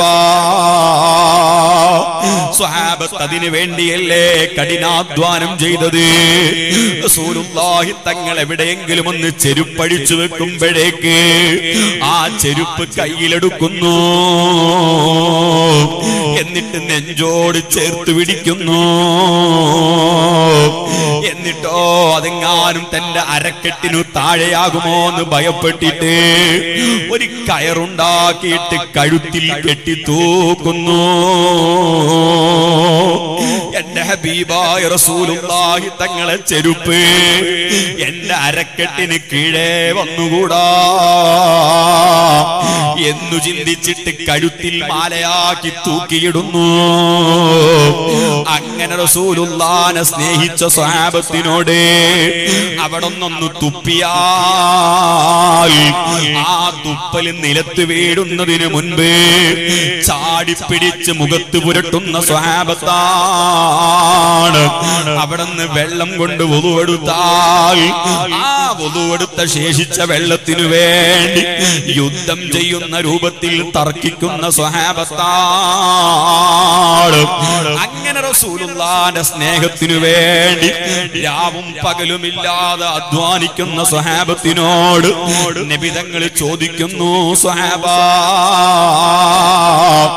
എനിക്കേറ്റവും ഇഷ്ടം ആരോടാണെന്നറിയുമോ? എന്നോട് പകരം ചോദിക്കുന്നവൻ ആരാണ് എന്നെ തിരിച്ചടിക്കാൻ കാരണം പറയുന്നവൻ ആരാണ്? അവരെ സമ്പത്ത് ഞാൻ എടുത്തിട്ടുണ്ടെങ്കിൽ തിരിച്ചു ചോദിക്കുന്നത് ആരാണ്? ആരെങ്കിലും ആ- ആത്മാഭിമാനത്തെ പിച്ച് ചീന്തിയിട്ടുണ്ടെങ്കിൽ എന്നോട് തിരിച്ചു ചോദിക്കുന്നവൻ ആരാണ്? അവനോട് എനിക്ക് വെറുപ്പില്ലെന്നു മാത്രമല്ല അവനെയാണ് എനിക്ക് ഏറ്റവും ഇഷ്ടം സ്വഹാബ. എന്റെ ഇഷ്ടം വേണോ? എങ്കിൽ എഴുന്നേറ്റോ ചോദിച്ചോ സ്വഹാബ. എന്തെങ്കിലും ഒരു ചെറിയ കാര്യമുണ്ടായിരുന്നെങ്കിൽ അറുപത്തിമൂന്ന് വർഷക്കാലത്തെ പ്രബോധന ജീവിതത്തിൽ അതേ യുദ്ധ നേതാവായിട്ട് ഭർത്താവായി അതുപോലെ തന്നെ പിതാവായി വല്യുപ്പയായി സമരനായകനായി രാജാവായി എല്ലാ മേഖലയിലും വർത്തിച്ചിട്ട് എന്തെങ്കിലും ഒരു ചെറിയ ഫാൾട്ട് പറയാനുണ്ടായിരുന്നെങ്കിൽ മുത്തുനബിയുടെ ഇഷ്ടം പ്രതീക്ഷിക്കുന്ന സ്വാപത്ത് ഒന്നെഴുന്നേറ്റ് പറയുമായിരുന്നു. പക്ഷേ ഒരൊറ്റ സ്വഹാബി എഴുന്നേറ്റില്ല. അപ്പ നബി സല്ലല്ലാഹു അലൈഹി വസല്ലമ തങ്ങൾ പിന്നെയും പറയുകയാണ് ഒന്നുകൂടെ താഴ്ന്നു കൊടുത്തു പറയുന്നു സ്വഹാബ. ഇനി എന്തെങ്കിലും മനസ്സിലുണ്ടെങ്കിൽ അതൊന്ന് എഴുന്നേറ്റു നിന്നിട്ട് പറ നബിയെ അങ്ങ് ഞങ്ങൾ അടിച്ചിട്ടുണ്ട്. പക്ഷേ ഞങ്ങളെ മുത്തുനബിയല്ലേ അതുകൊണ്ട് ഞങ്ങൾ പൊരുത്തപ്പെട്ടു. ഞങ്ങൾക്ക് പകരം വേണ്ട. ഞങ്ങളെ സമ്പത്ത് അങ്ങ് എടുത്തിട്ടുണ്ട് നബിയെ. പക്ഷേ ഞങ്ങളെ മുത്തുനബിയല്ലേ അതുകൊണ്ട് ഞങ്ങൾക്ക് ആ സമ്പത്ത് വേണ്ട. ഞങ്ങളങ്ങ് പരിഹസിച്ചിട്ടുണ്ട്. പക്ഷേ ഞങ്ങളെ മുത്തുനബിയല്ലേ പരിഹസിച്ചത്? അതുകൊണ്ട് ഞങ്ങൾ പൊരുത്തപ്പെട്ടു. അതെങ്കിലും ഒന്ന് എഴുന്നേറ്റ് പറ സ്വഹാബ. നാളെ ഞാൻ എന്റെ രാജാവായ റബ്ബിന്റെ മുമ്പിലെത്തുമ്പോൾ ഒരക്രമിയായി ഞാൻ എന്റെ റബ്ബിനെ കണ്ടുമുട്ടിക്കൂടാ. എന്ന് നബി സല്ലല്ലാഹു അലൈഹി വസല്ലമ തങ്ങൾ ഒരു രാജാവ് എഴുന്നേറ്റ് നിന്ന് തന്റെ അണികൾക്ക് പിന്നിൽ നിന്നുകൊണ്ട് ഏറ്റവും താഴ്മയായി കേണപേക്ഷിച്ചിട്ട് പോലും ഒരൊറ്റ സ്വഹാബിയും എഴുന്നേറ്റില്ല. കാരണം അറുപത്തിമൂന്ന് വർഷക്കാലത്ത് ജീവിതത്തിനിടയിൽ ഒന്നും അവർക്ക് പറയാനില്ല. ഇതുപോലത്തൊരു നേതാവുണ്ടോ ഉമ്മമാരെ? ഇതുപോലത്തൊരു ഭർത്താവുണ്ടോ ഭാര്യമാരെ? ഇതുപോലത്തൊരു ഉപ്പയുണ്ടോ മക്കളെ? ഇതുപോലത്തൊരു വെല്ലുപ്പയുണ്ടോ? ആ നേതാവിനെയാണ് പ്രണയിക്കേണ്ടത്. സൗന്ദര്യമാണോ മുത്തുനബിയാണോ ഒന്നാമത്? സ്വഭാവത്തിന്റെ ശുദ്ധിയാണോ? അവിടെയും മുത്തുനബി തന്നെയാണ് നമ്പർ വണ്ണ് ഇനിയോ നമ്മൾ പ്രണയിക്കാനുള്ള കാരണം എന്നോട് ഇങ്ങോട്ട് വല്ലാത്ത സ്നേഹമാണ്. അതുകൊണ്ടാണ് ഞാൻ ഒരാളെ പ്രണയിക്കുന്നതെങ്കിൽ ആ ഹബീബ് നമ്മളെ പ്രണയിച്ചതുപോലെ ലോകത്തൊരു നേതാവും ഒരണിയെ സ്നേഹിച്ചിട്ടില്ല. നമുക്ക് വല്ലാത്ത സന്തോഷം വരുമ്പോൾ നമ്മൾ മറ്റുള്ളവരെ മറന്നുപോകും സ്വാഭാവികമാണ്. എന്നാൽ ഒരു മുസ്ലിമിന് ഏറ്റവും വലിയ സന്തോഷം എപ്പോഴാണ്? ലോകത്തുള്ള മുഴുവൻ ആളുകൾക്കും സന്തോഷം എപ്പോഴാണ്?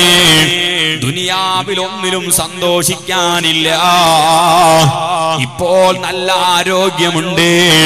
പക്ഷേ ആരോഗ്യത്തിനൊരു സമയമുണ്ട്. ആ സമയം കഴിഞ്ഞാൽ എന്റെ ആരോഗ്യം നശിച്ചു പോകും. അതുകൊണ്ട് എനിക്ക് സന്തോഷിക്കാനില്ല. ഇപ്പോൾ പ്രസംഗിക്കാൻ എനിക്ക് എന്റെ റബ്ബ് ശബ്ദം തന്നിട്ടുണ്ട്. പക്ഷേ ആ ശബ്ദത്തിന്റെ ആയുസ് എത്രയാണെന്ന് എനിക്കറിയില്ല. അതുകൊണ്ട് എനിക്ക് ഡിമാൻഡ് ആക്കാനില്ല. കിബിർ നടിക്കാനില്ല. അതേ സമ്പത്ത് തന്നവരുണ്ട്. ആ സമ്പത്ത് അള്ളാഹുവിന്റെ സമ്മാനമാണ്. എപ്പോഴാണത് തിരിച്ചെടുക്കുന്നതെന്നറിയില്ല. എത്ര വലിയ ഉദ്യോഗസ്ഥനാണെങ്കിലും അതിനൊരു സമയമുണ്ട്. അതിനപ്പുറത്തേക്ക് നീങ്ങൂല. ഓ പ്രിയപ്പെട്ടവരെ പിന്നെ എവിടെയാണ് അവിടെയാണ് ശാശ്വതമായ സൗകര്യമുള്ളത്. ലഹും ജന്നാത്തുൻ തജ്രി മിൻ തഹ്തിഹൽ അൻഹാർ. നിങ്ങൾ ഇരിക്കുന്ന സുന്ദരമായ അരുവികൾ ഒഴുകുന്നൊരു ലോകമുണ്ട്.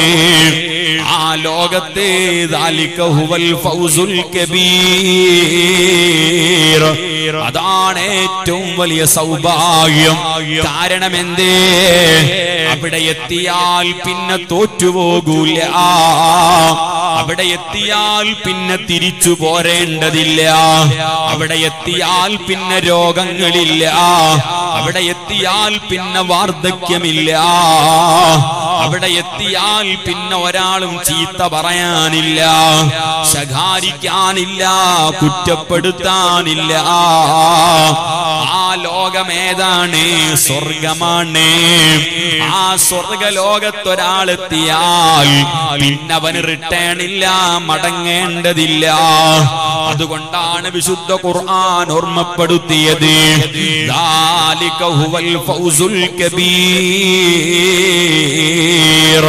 ശാശ്വതമായ ഏറ്റവും വലിയ വിജയത്തിന്റെ കേന്ദ്രമാണത്. പക്ഷേ ആ സ്വർഗത്തിലുള്ള ഏറ്റവും വലിയ സൗഭാഗ്യം എന്താണ്? അവിടെ അവിടുന്ന് ഭക്ഷണം കിട്ടലല്ല മരിക്കാതിരിക്കലല്ല രോഗമില്ലാതിരിക്കലല്ല. എന്നെ പടച്ച എന്റെ റബ്ബിനെ എനിക്ക് കാണാമെന്നതാണ്. എനിക്ക് വെള്ളം തരുന്നൊരു റബ്ബുണ്ടല്ലോ. ആ റബ്ബിനെ ഇതുവരെ കണ്ടിട്ടില്ലല്ലോ. നമ്മളെ രാജ്യം ഭരിക്കുന്ന മന്ത്രിയെ ഒന്ന് കാണാൻ കഴിഞ്ഞാൽ അതൊരു സൗന്ദര്യമായി സൗകര്യമായി സന്തോഷമായി പലപ്പോഴും നമ്മൾ വിചാരിക്കാറുണ്ടല്ലോ. പക്ഷേ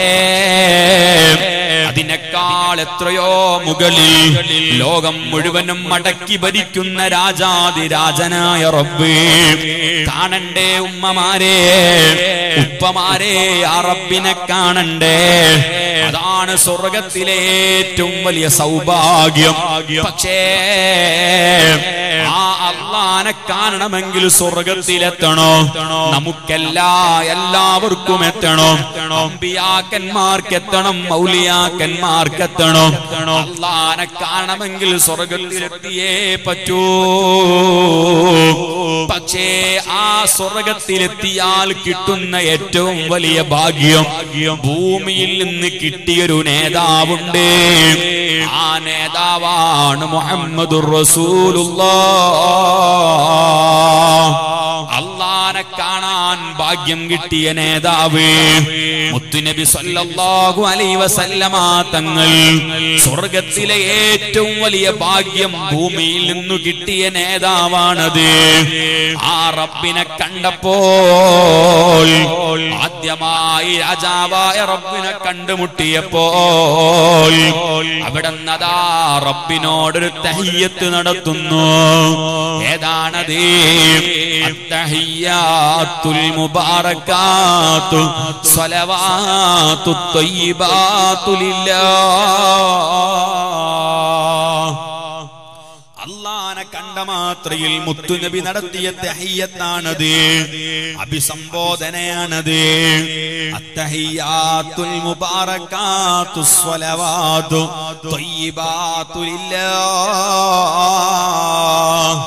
എല്ലാ തിരുമുൽ കാഴ്ചകളും അള്ളാന്റെ മുമ്പിൽ സമർപ്പിച്ചപ്പോൾ അല്ല തിരിച്ചു പറയുന്നു അസ്സലാമു അലൈക അയ്യുഹൻ വറഹ്മത്തുള്ളാഹി وبركات ഇങ്ങോട്ട് തന്ന തഹിയത്തും പറക്കത്തും സലാമത്തും എല്ലാം തിരിച്ചു മുത്തുനബിക്കും കൊടുക്കുന്നു. എന്നിട്ട് പോരാത്തതിനെ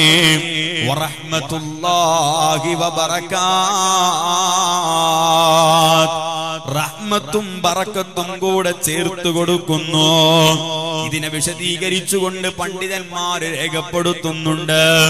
നമ്മളോട് ഒരാൾ അസ്സലാമു അലൈക്കും എന്ന് സലാം പറഞ്ഞാൽ സലാം അടക്കേണ്ടത് സലാം വറഹ്മത്തുള്ളാഹ്. ഇങ്ങോട്ട് തന്നതിനേക്കാൾ നന്നായി തിരിച്ചു കൊടുക്കണം. ഇത് മഹാന്മാര് വിശദീകരിക്കുന്നു. ഞാൻ വിഷയത്തിലേക്കൊന്നും കടന്നു പോകുന്നില്ല അങ്ങനെ അള്ളാഹു താര തിരിച്ച് മുത്തുനബിക്കെല്ലാം കൊടുത്തപ്പോൾ രാജാതിരാജനായ അള്ളയാണ് പറയുന്നത്. മുത്തുനബിക്ക് പറക്കത്തും തയ്യത്തും സലാമത്തും റഹ്മത്തും എല്ലാം എല്ലാം നൽകിയപ്പോൾ മുത്തുനബി ആഘോഷിക്കുന്നതിന് പകരം ഉടനെ പറയുന്നു. ഓ പടച്ചവനെ നിന്റെ ബറക്കത്തും നിന്റെ റഹ്മത്തും നിന്റെ സലാമത്തും അത് എനിക്ക് മാത്രം പോരാ.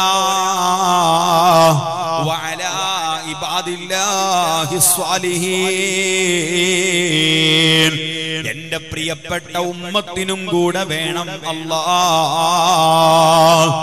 ഓ പ്രിയപ്പെട്ട ചെറുപ്പക്കാരെ ഏറ്റവും വലിയ സന്തോഷത്തിന്റെ സമയത്ത് നമ്മളെ കുറിച്ചോർത്തുകൊണ്ട് നമുക്ക് നിന്നുള്ള റഹ്മത്തും പറക്കത്തും സലാമത്തും അവന്റെ എല്ലാം ചോദിച്ചു വാങ്ങിത്തരുന്നു.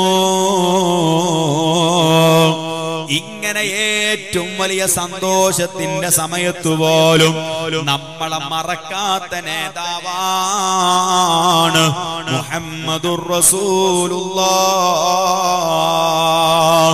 അതിനുശേഷമാണ് നമ്മളോട് പറയുന്നത് അഹദുക്കും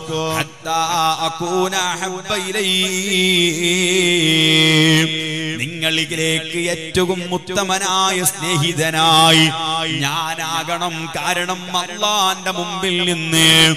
നിങ്ങൾക്ക് വേണ്ടതൊക്കെ ചോദിച്ചു വാങ്ങി തന്നവനാണ്. കഴിഞ്ഞില്ല മുത്തുനബിയുടെ സ്നേഹം എത്രയാണ്? ഏറ്റവും സങ്കടപ്പെട്ട ചില നിമിഷങ്ങൾ ചരിത്രത്തിന്റെ ഗ്രന്ഥങ്ങളിൽ കാണാം.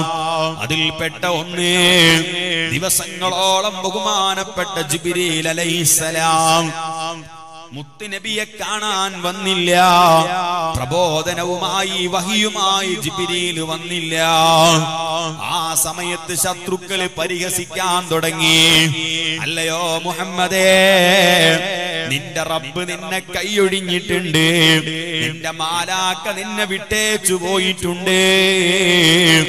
അങ്ങനെ പല രൂപത്തിൽ അവർ പരിഹസിക്കാൻ തുടങ്ങിയപ്പോൾ മുത്തുനബിക്കത് വല്ലാത്ത വിഷമം തോന്നി അങ്ങനെ വിഷമിച്ചിരിക്കുമ്പോൾ ഒരു ദിവസം അതാ ബഹുമാനപ്പെട്ട ജുബിരിയിൽ അലൈസലാം കടന്നു വരുന്നു. എന്നിട്ട് പറയുന്നു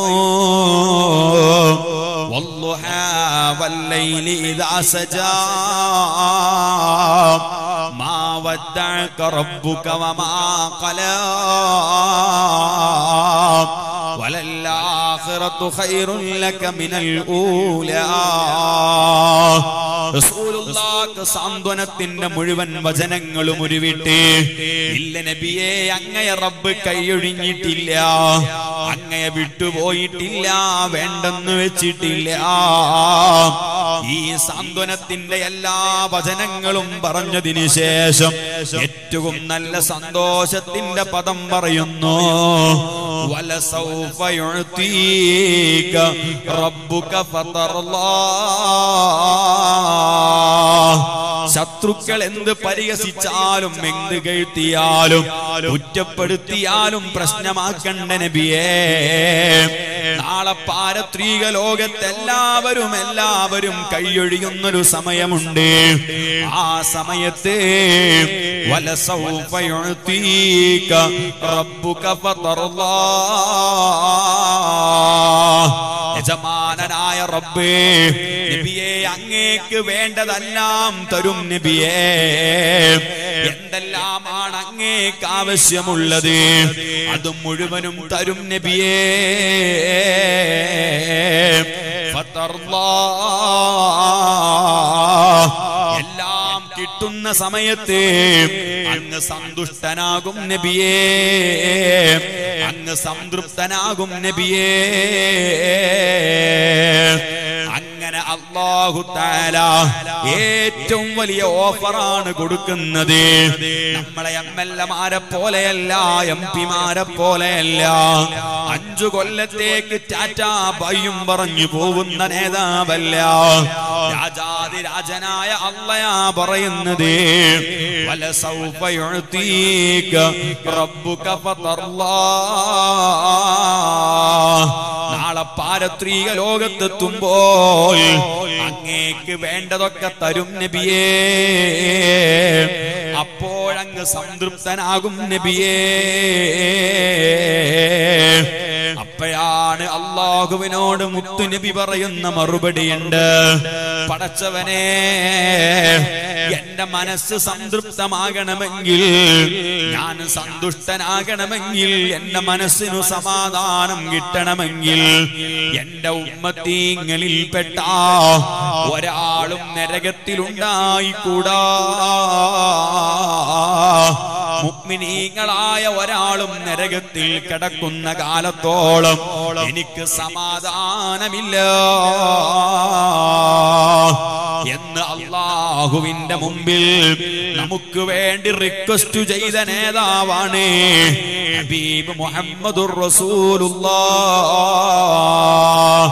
ഇതിനേക്കാൾ വലിയ പ്രണയമേതാണ് ഉമ്മമാരെ ഇതിനേക്കാൾ വലിയ സ്നേഹം ഏതാണ് എന്റെ ചെറുപ്പക്കാരാ? കഴിഞ്ഞില്ല മുത്തുനബിയുടെ പ്രണയത്തിന്റെ പ്രകടനങ്ങൾ. ബഹുമാനപ്പെട്ട മുത്തുനബി നുപൂവത്തിന്റെ പത്താമത്തെ വർഷം. മഹതിയായ ഖദീജ റളിയല്ലാഹു അൻഹാ. കേവലം ഒരു ഭാര്യയല്ല. ഉമ്മയെ പോലെ കൂടെ നിന്ന മഹതിയാണ്. മകളെ പോലെ സ്നേഹിച്ച അമ്മ ഭാര്യയാണ്. കാമുകിയെ പോലെ കൂടെ നിന്ന ഉമ്മയാണ്. എല്ലാ നിലയിലും മുത്തുനബിക്ക് കൂടെ നിന്ന അൻഹാ നബുവത്തിന്റെ പത്താം വർഷം ലോകത്തോട് വിട പറയുന്നു. അതേ വർഷം തന്നെ അബൂ താലിബ് എന്നവരും ലോകത്തോട് വിട പറയുന്നു. അങ്ങനെ സങ്കടത്തിന്റെ വർഷമെന്ന് പേരു നൽകിയ നബുവത്തിന്റെ പത്താം വർഷമതാ ഒരു സമാധാനം ലഭിക്കാൻ സാന്ത്വനം ലഭിക്കാൻ തന്റെ പ്രിയപ്പെട്ട അമ്മാവന്മാരടുക്കലേക്ക് പോകുന്നു. ത്വായിഫിലേക്കാണ് തന്റെ കുടുംബക്കാര് സഖീഫ് ഗോത്രക്കാരവിടെയുണ്ട് അങ്ങോട്ട് മുത്തുനബി വലിയ പ്രതീക്ഷയിലാണ് ചെല്ലുന്നത്. പക്ഷേ അവിടെ എത്തിയപ്പോഴോ ചെറിയ കുട്ടികൾ കാത്തു നിൽക്കുന്നു അവരതാ മുത്തുനബിയെ സ്വീകരിക്കാൻ വേണ്ടി കാത്തു നിൽക്കുകയാണ്. പക്ഷേ അവർ ചൊല്ലുന്നത് തോലാൽ ബദുറുവല്ല. പകരം അവർ പറയുന്നത് യാ പ്രാന്ത എന്നാണ് അവർ അഭിസംബോധന ചെയ്യുന്നത്. പൂമാലയിട്ട് സ്വീകരിക്കുന്നതിന് പകരം വലിയ ഉരുളൻ കല്ലുകളാണ് അവർ റസൂലുള്ളാഹി തങ്ങളെ കല്ലെറിഞ്ഞോടിക്കുമ്പോൾ പിന്നിൽ കൂടി വരുന്ന കുട്ടികൾ കല്ലെറിഞ്ഞപ്പോൾ മുത്തുനബിയുടെ ശറവാക്കപ്പെട്ട കാലിൽ കല്ല് വീടുന്നു ആ കല്ലു തട്ടിയിട്ട് കാലിൽ നിന്ന് രക്തം പൊടിയുന്നു. രക്തം പൊടിഞ്ഞപ്പോൾ അവിടെ നദാ തന്റെ കാലേ കാലിൽ നിന്നൊലിക്കുന്ന രക്തം തന്റെ കയ്യിലേക്ക് സ്വീകരിക്കുന്നു. കാരണം എന്തേ എന്റെ ഒരു തുള്ളി രക്തമെങ്ങാനും ഈ ഭൂമിയിൽ ഉറ്റി വീണാൽ പിന്നെ ഇവിടെ ഒരു സസ്യങ്ങളും മുളക്കൂല ഒരു കായികനികളും ഫലം ചെയ്യൂല തന്നെ കൊണ്ട് എന്റെ ശത്രു രാജ്യത്തു പോലും പ്രയാസങ്ങൾ ഉണ്ടാകരുതെന്ന് ചിന്തിച്ച ഹബീബ് മുഹമ്മദുർ റസൂലുള്ളാഹ് സല്ലല്ലാഹു അലൈഹി വസല്ലമ തങ്ങളെ പഠിക്കേണ്ടത് ഇവിടെയാണ്. ബദറിന്റെയും മുഹദിന്റെയും ചരിത്രം പറഞ്ഞ് ഹംസത്തുൽ കറാറിനെയും അബ്ദുള്ള റളിയല്ലാഹു അൻഹുവിനെയും പരിചയപ്പെടുത്തി.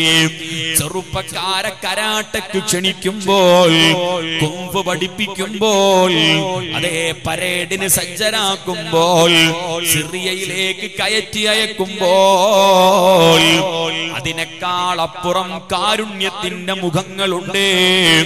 ആ മുഖം കൂടെ പഠിക്കണം പഠിപ്പിക്കണം. അപ്പോഴേ ലോകത്ത് സമാധാനമുണ്ടാകൂ. ഞാൻ വിഷയത്തിൽ നിന്ന് മാറിപ്പോകുന്നില്ല. അങ്ങനെ കാരുണ്യത്തിന്റെ പ്രവാചകർ സല്ലല്ലാഹു അലൈഹി വസല്ലം അവിടുന്ന് ശറഫാക്കപ്പെട്ട ശരീരത്തിൽ നിന്നുറ്റി വീഴുന്ന രക്തത്തുള്ളികൾ തന്റെ ശരീരത്തിലേക്ക് കയ്യിലേക്ക് ആവാഹിക്കുന്നു. അങ്ങനെ ക്ഷീണിച്ചവശരായ ഒരു ഭാഗത്തു നിൽക്കുമ്പോൾ മലക്കുകൾ വന്ന് പറയുന്നു നബിയേ ലോകത്തുള്ള മുഴുവൻ അമ്പിയാക്കന്മാർക്കും ഓരോ പ്രാർത്ഥനയുണ്ട്. ബഹുമാനപ്പെട്ട ലൂത്തു നബി അലൈഹിസ്സലാം പ്രാർത്ഥിച്ചിട്ടുണ്ട്. അപ്പോഴാണ് അവരെ സമൂഹത്തെ തലകീഴ് മറിച്ചു കളഞ്ഞത്.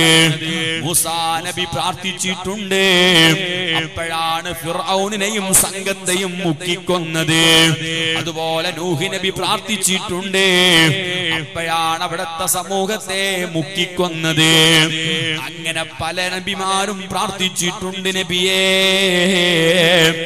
അങ്ങേക്കും പ്രാർത്ഥനയുണ്ടല്ലോ നബിയേ ഒന്ന് നിർവഹിക്കൂ നബിയേ.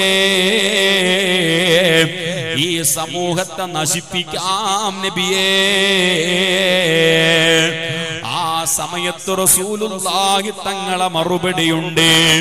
ചെറുപ്പക്കാരെ പള്ളിയിൽ നിന്ന് ബാങ്ക് കൊടുക്കുമ്പോൾ നമ്മൾ ക്രിക്കറ്റ് ഗ്രൗണ്ടുകളിൽ സമലം സമയം ചെലവഴിക്കുമ്പോൾ ബാർബർ ഷോപ്പിൽ കയറിയിട്ട് ചുമരിൽ പതിച്ചു വെച്ച ഏതെങ്കിലും മരംകുത്തിയുടെ മുഖം കണ്ടിട്ട് എന്റെ മുടിയും അതുപോലെ ആക്കണമെന്ന് പറയുമ്പോൾ നിസ്കാരം കളയാൻ തോന്നുമ്പോൾ അതേ നെരിയാണിക്ക് താഴെ ഡ്രസ്സു ധരിക്കണമെന്ന് തോന്നുമ്പോൾ താടി ഏതെങ്കിലും സിനിമാ സ്റ്റൈലിൽ വെട്ടണമെന്ന് തോന്നുമ്പോൾ ഹബീബായ റസൂലുള്ളാന്റെ ഈ പദം നീ ഓർക്കണം. അവിടെ പറയുന്നു മലക്കുകളെ എന്റെ പ്രാർത്ഥന ഞാൻ ഇവിടെ ചെലവഴിക്കൂല.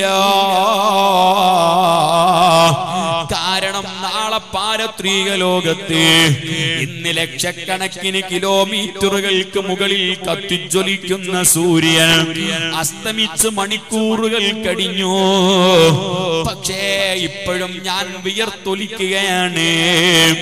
ഈ ചൂടുള്ള ഈ ലോകത്ത് നിന്ന് മാറിയിട്ട് ഒരു ലോകം വരാനുണ്ട്.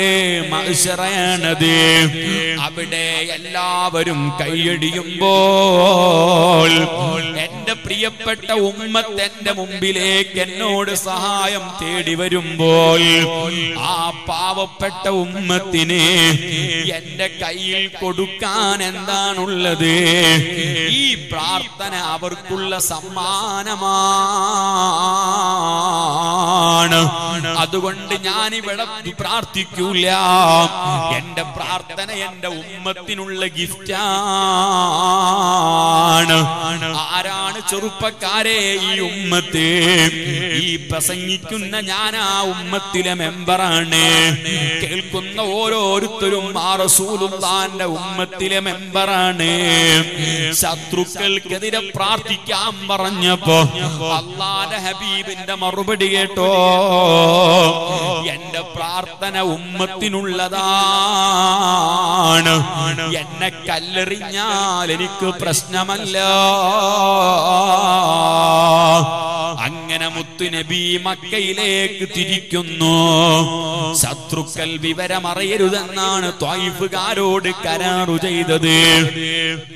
പക്ഷേ മക്കയിലേക്ക് തിരിച്ചെത്തിയപ്പോൾ അവിടെ അതാ അബൂജഹലുണ്ട് ഉത്തുബയുണ്ട് ശൈബത്തുണ്ട് വലീദുണ്ട്. അവർ കാത്തു നിൽക്കുന്നു. സ്വീകരിക്കാനല്ല പരിഹസിക്കാനാണ്. അവർ പറയുന്നു മുഹമ്മദേ സ്വന്തം കുടുംബക്കാർക്ക് പോലും വേണ്ടാത്തവനായി പോയോ? അവർ വല്ലാതെ പരിഹസിച്ചപ്പോൾ അത് റസൂലുള്ളാഹി തങ്ങൾക്ക് വല്ലാതെ വിഷമിച്ചു പോയി. കാരണം ത്വായിഫുകാരെന്നെ സ്വീകരിച്ചില്ല പ്രശ്നമല്ല. എന്നാൽ ഈ വിവരം മക്കാരരു അറിയരുതെന്ന് പറഞ്ഞിട്ട് പോലും അവർ സമ്മതിച്ചില്ലല്ലോ. ആ വിഷമത്തിൽ ഒരു ഭാഗത്തിരിക്കുമ്പോൾ പിന്നെയും മലക്ക് വരുന്നു. ചോദിക്കുന്നു നബിയേ അങ്ങൊന്ന് പ്രാർത്ഥിച്ചുകൂടെ നബിയേ. ഒരു പ്രാർത്ഥനയില്ലേ നബിയേ? അപ്പോഴും റസൂലുള്ളാന്റെ മറുപടിയേ മലക്കുകളെ എന്നെ കളിയാക്കിയാലും എന്നെ പരിഹസിച്ചാലും എന്നെ കല്ലെറിഞ്ഞാലും എന്റെ പ്രാർത്ഥന ഇവിടെ ചെലവഴിക്കൂല. എന്റെ പ്രിയപ്പെട്ട ഉമ്മത്ത് നാളെ എന്റെ മുമ്പിലേക്ക് വരുമ്പോൾ അവർക്ക് കൊടുക്കാനുള്ള സമ്മാനമാണ്. കല്ലിലെ കാലിലേക്ക് കല്ല് വന്ന് വീണപ്പോഴും ശത്രുക്കളി പരിഹസിച്ചപ്പോഴും നമ്മളെയോത്ത് പരിതപിച്ച നേതാവാണ്. സയ്യിദുനാ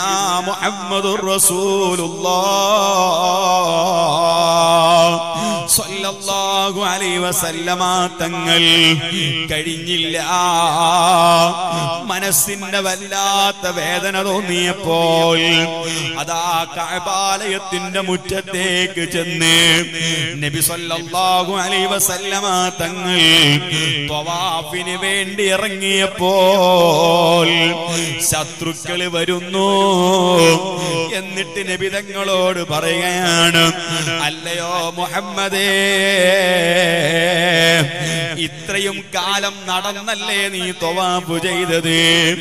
എന്നാൽ ഇന്ന് നമുക്കൊരു പുതിയ തൊവാഫാക്കാം.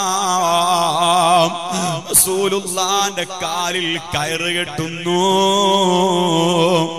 എന്നിട്ട് എന്നിട്ട് കഴബാലയത്തിന്റെ ചുറ്റുഭാഗത്തുകൂടെ മുത്തുനബിയെ വലിക്കുന്നു. ഇന്നത്തെ പോലെ മാർബിൾ പതിച്ച മതാഫല്ല വലിയ മൊട്ട അതേ വലിയ വലിയ പാറക്കല്ലുകളാണ് മുൾച്ചെടികളാണ് മറ്റു പല വിഗ്രഹങ്ങളും രൂപങ്ങളുമാണ്. ആ മതാഫിലൂടെ മുത്തുനബിയെ കാലിൽ കയറ് കെട്ടിയിട്ട് വലിക്കുമ്പോൾ അവിടത്തെ കയ്യിൽ മുറിവേൽക്കുന്നു. നെറ്റിത്തടം നിലത്തു തട്ടുന്നു. മുറിവേൽക്കുന്നു. അങ്ങനെ വല്ലാതെ വിഷമിച്ച് സങ്കടപ്പെട്ട് ഒരു ഭാഗത്തിരിക്കുമ്പോ മക്കയിലെ മണൽപ്പരപ്പുകൾക്ക് സഹിക്കുമോ? മലക്കുകൾക്ക് താങ്ങാൻ കഴിയുമോ? അവർ വീണ്ടും വരുന്നു. നബിയേ എന്തിനാണ് ഇത്രമാത്രം സഹിക്കുന്നത്? അങ്ങൊന്ന് പ്രാർത്ഥിക്കൂ നബിയേ. ആ സമയത്തും ബഹുമാനപ്പെട്ട മുത്തുനബിയുടെ മറുപടി ഇല്ല ഇല്ല. നാളെ എന്റെ ഉമ്മത്ത് എന്നെ പ്രതീക്ഷിച്ചുകൊണ്ട് എന്റെ മുമ്പിലേക്ക് വരുമ്പോൾ അവർക്ക് കൊടുക്കാനുള്ള പ്രാർത്ഥനയാണ്. എന്നെ കല്ലെറിഞ്ഞാലും ചീത്ത വിളിച്ചാലും തെറി പറഞ്ഞാലും ഞാനതിവിടെ ചെലവഴിക്കൂല. നമ്മളെ വീട്ടിൽ ഒരു മാമ്പഴം മുറിച്ചാൽ ഉമ്മമാരെ കയ്യിൽ കൊടുത്താൽ ആ മാമ്പഴം എല്ലാവർക്കും അതിന്റെ കഷ്ണം കൊടുത്താലും പീസ് കൊടുത്താലും അവസാനം വീട്ടിലില്ലാത്ത മക്കൾക്ക് വേണ്ടി ഉമ്മമാര് മാമ്പഴത്തിന്റെ കഷ്ണം എടുത്തു വെക്കാറില്ലയോ എന്നാൽ മുത്തുനബി ഈ സ്നേഹമാണോ മങ്കൂസ് മൗലിദിൽ നമ്മൾ അതുകൊണ്ടാണ് പറയുന്നത് അറ്റ ഉമ്മുൻ അം ആബൂൻ മറഅയ്നാ ഫീഹിമാ مثل حسنك قط يا سيدي خير النبي ഒരു ഉമ്മയേക്കാൾ വാപ്പയേക്കാൾ അവരിലൊന്നും കാണാത്ത സ്നേഹമാണ് ഹബീബായ മുത്തു നബിക്ക് നമ്മളോടുള്ളത്. ആ പ്രണയത്തിന് പകരം കൊടുക്കാൻ കഴിയുമോ? ഇങ്ങനെയൊക്കെ നമ്മളെ സ്നേഹിച്ചതിന് ശേഷം അവസാനം പറയുന്നു ഇനി നിങ്ങളെല്ലാവരെക്കാളും എന്നെ സ്നേഹിക്കുന്നത് വരെ നിങ്ങൾ യഥാർത്ഥ മുസ്ലിമല്ല. ഓ എന്റെ പ്രിയപ്പെട്ട ചെറുപ്പക്കാരാ ചെറുപ്പക്കാരികളെ ഉപ്പമാരെ എന്റെ പ്രിയപ്പെട്ട ഉമ്മമാരെ ഇങ്ങനെ എന്തെല്ലാം മേഖല വെച്ചുകൊണ്ട് അളന്നു നോക്കിയാലും മുത്തുനബിയെക്കാൾ പ്രണയിക്കാൻ യോഗ്യനായി മറ്റൊരാളുമില്ല. ഇനി എനിക്കിങ്ങോട്ട് വല്ല സഹായവും കിട്ടുമെന്നാണോ പ്രതീക്ഷിക്കുന്നത്? അതിനു വേണ്ടിയാണ് നമ്മൾ ഒരാളെ സ്നേഹിക്കുന്നതെങ്കിൽ ദുനിയാവിലെ സഹായങ്ങളെക്കാൾ ഏറ്റവും അപ്പുറം പ്രതീക്ഷിക്കേണ്ട സഹായമേതാണ്? ഇന്ന് ലക്ഷക്കണക്കിന് കിലോമീറ്ററുകൾക്ക് മുകളിൽ കത്തിജ്വലിക്കുന്ന സൂര്യൻ അതാ. താഴ്ന്നു താഴ്ന്നു എന്റെ തലയുടെ നേരെ മുകളിൽ ഒരു ചാണുമേലെ അല്ലെങ്കിൽ സുറുമക്കോലിന്റെ അത്രയും ഉയരത്തിൽ കത്തി നിൽക്കുമല്ലോ.